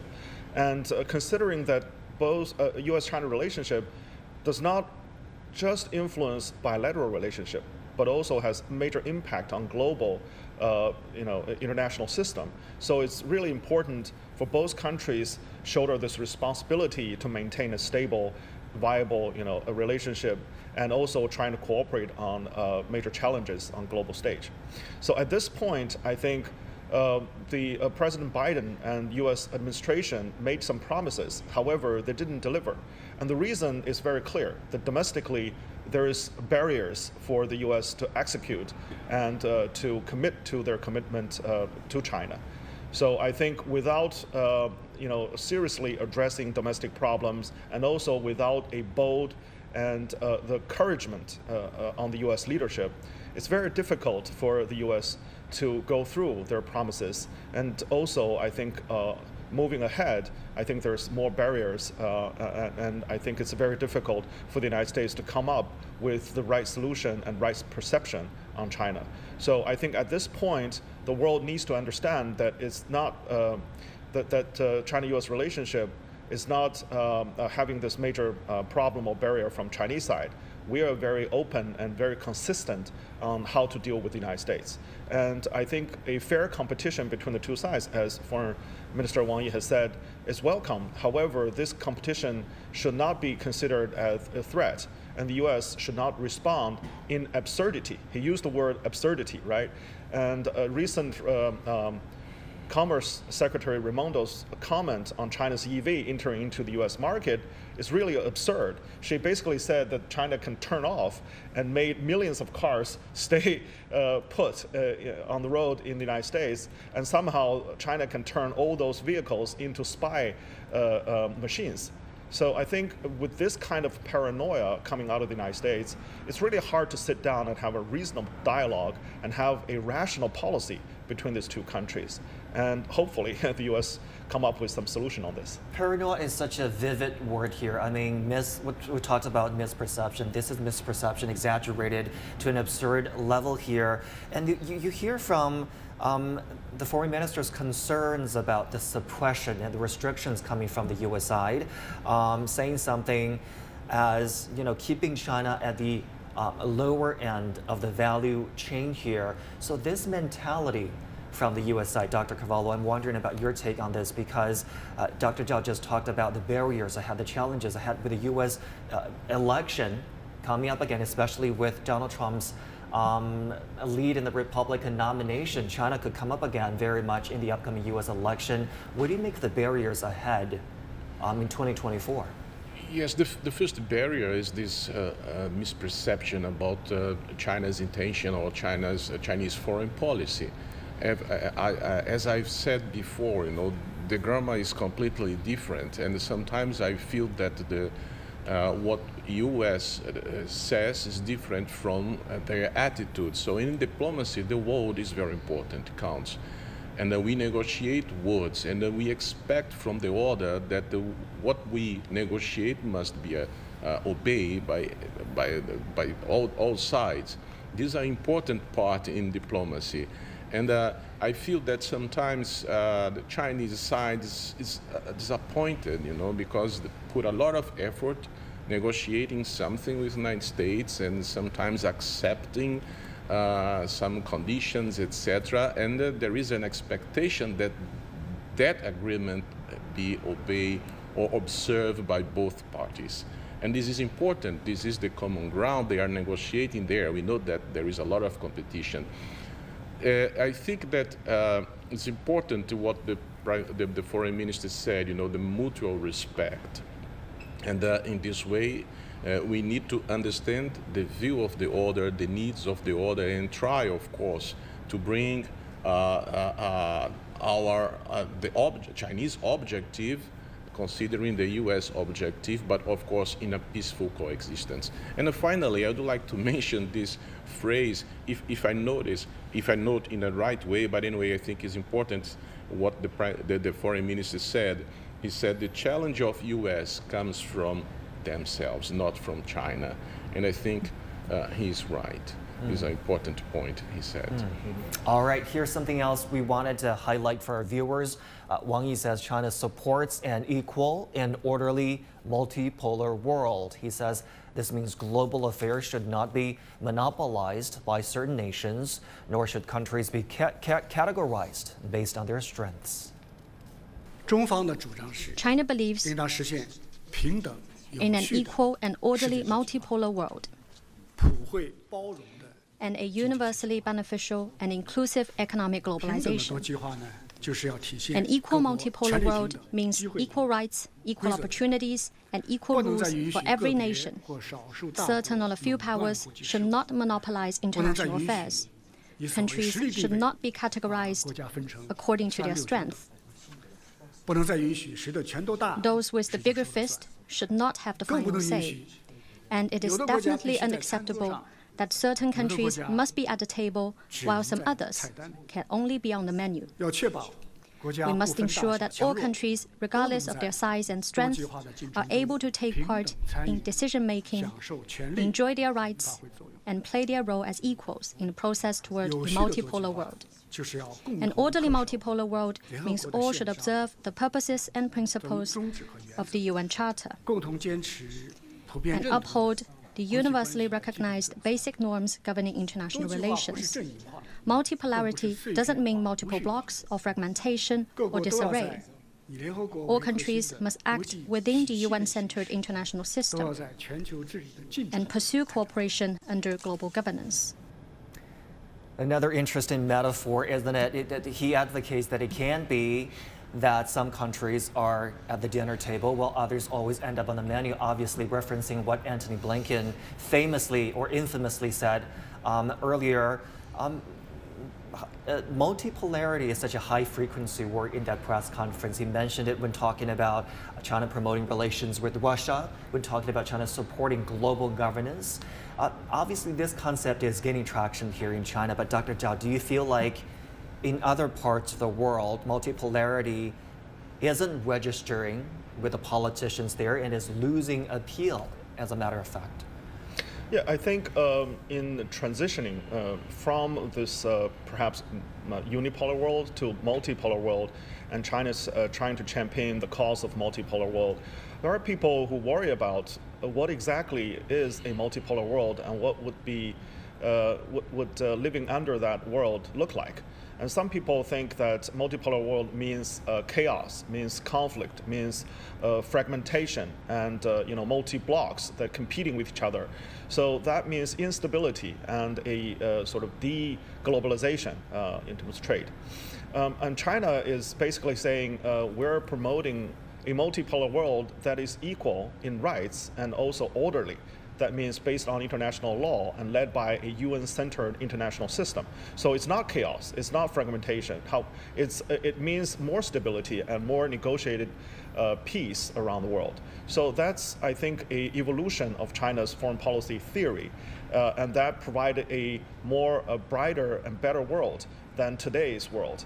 So I think that's the China solution or China plan uh, offered or contributed to, to the world stage. Mm. And the current barrier, of course, are twofold. One is some countries still want to monopolize uh, the, the world uh, system.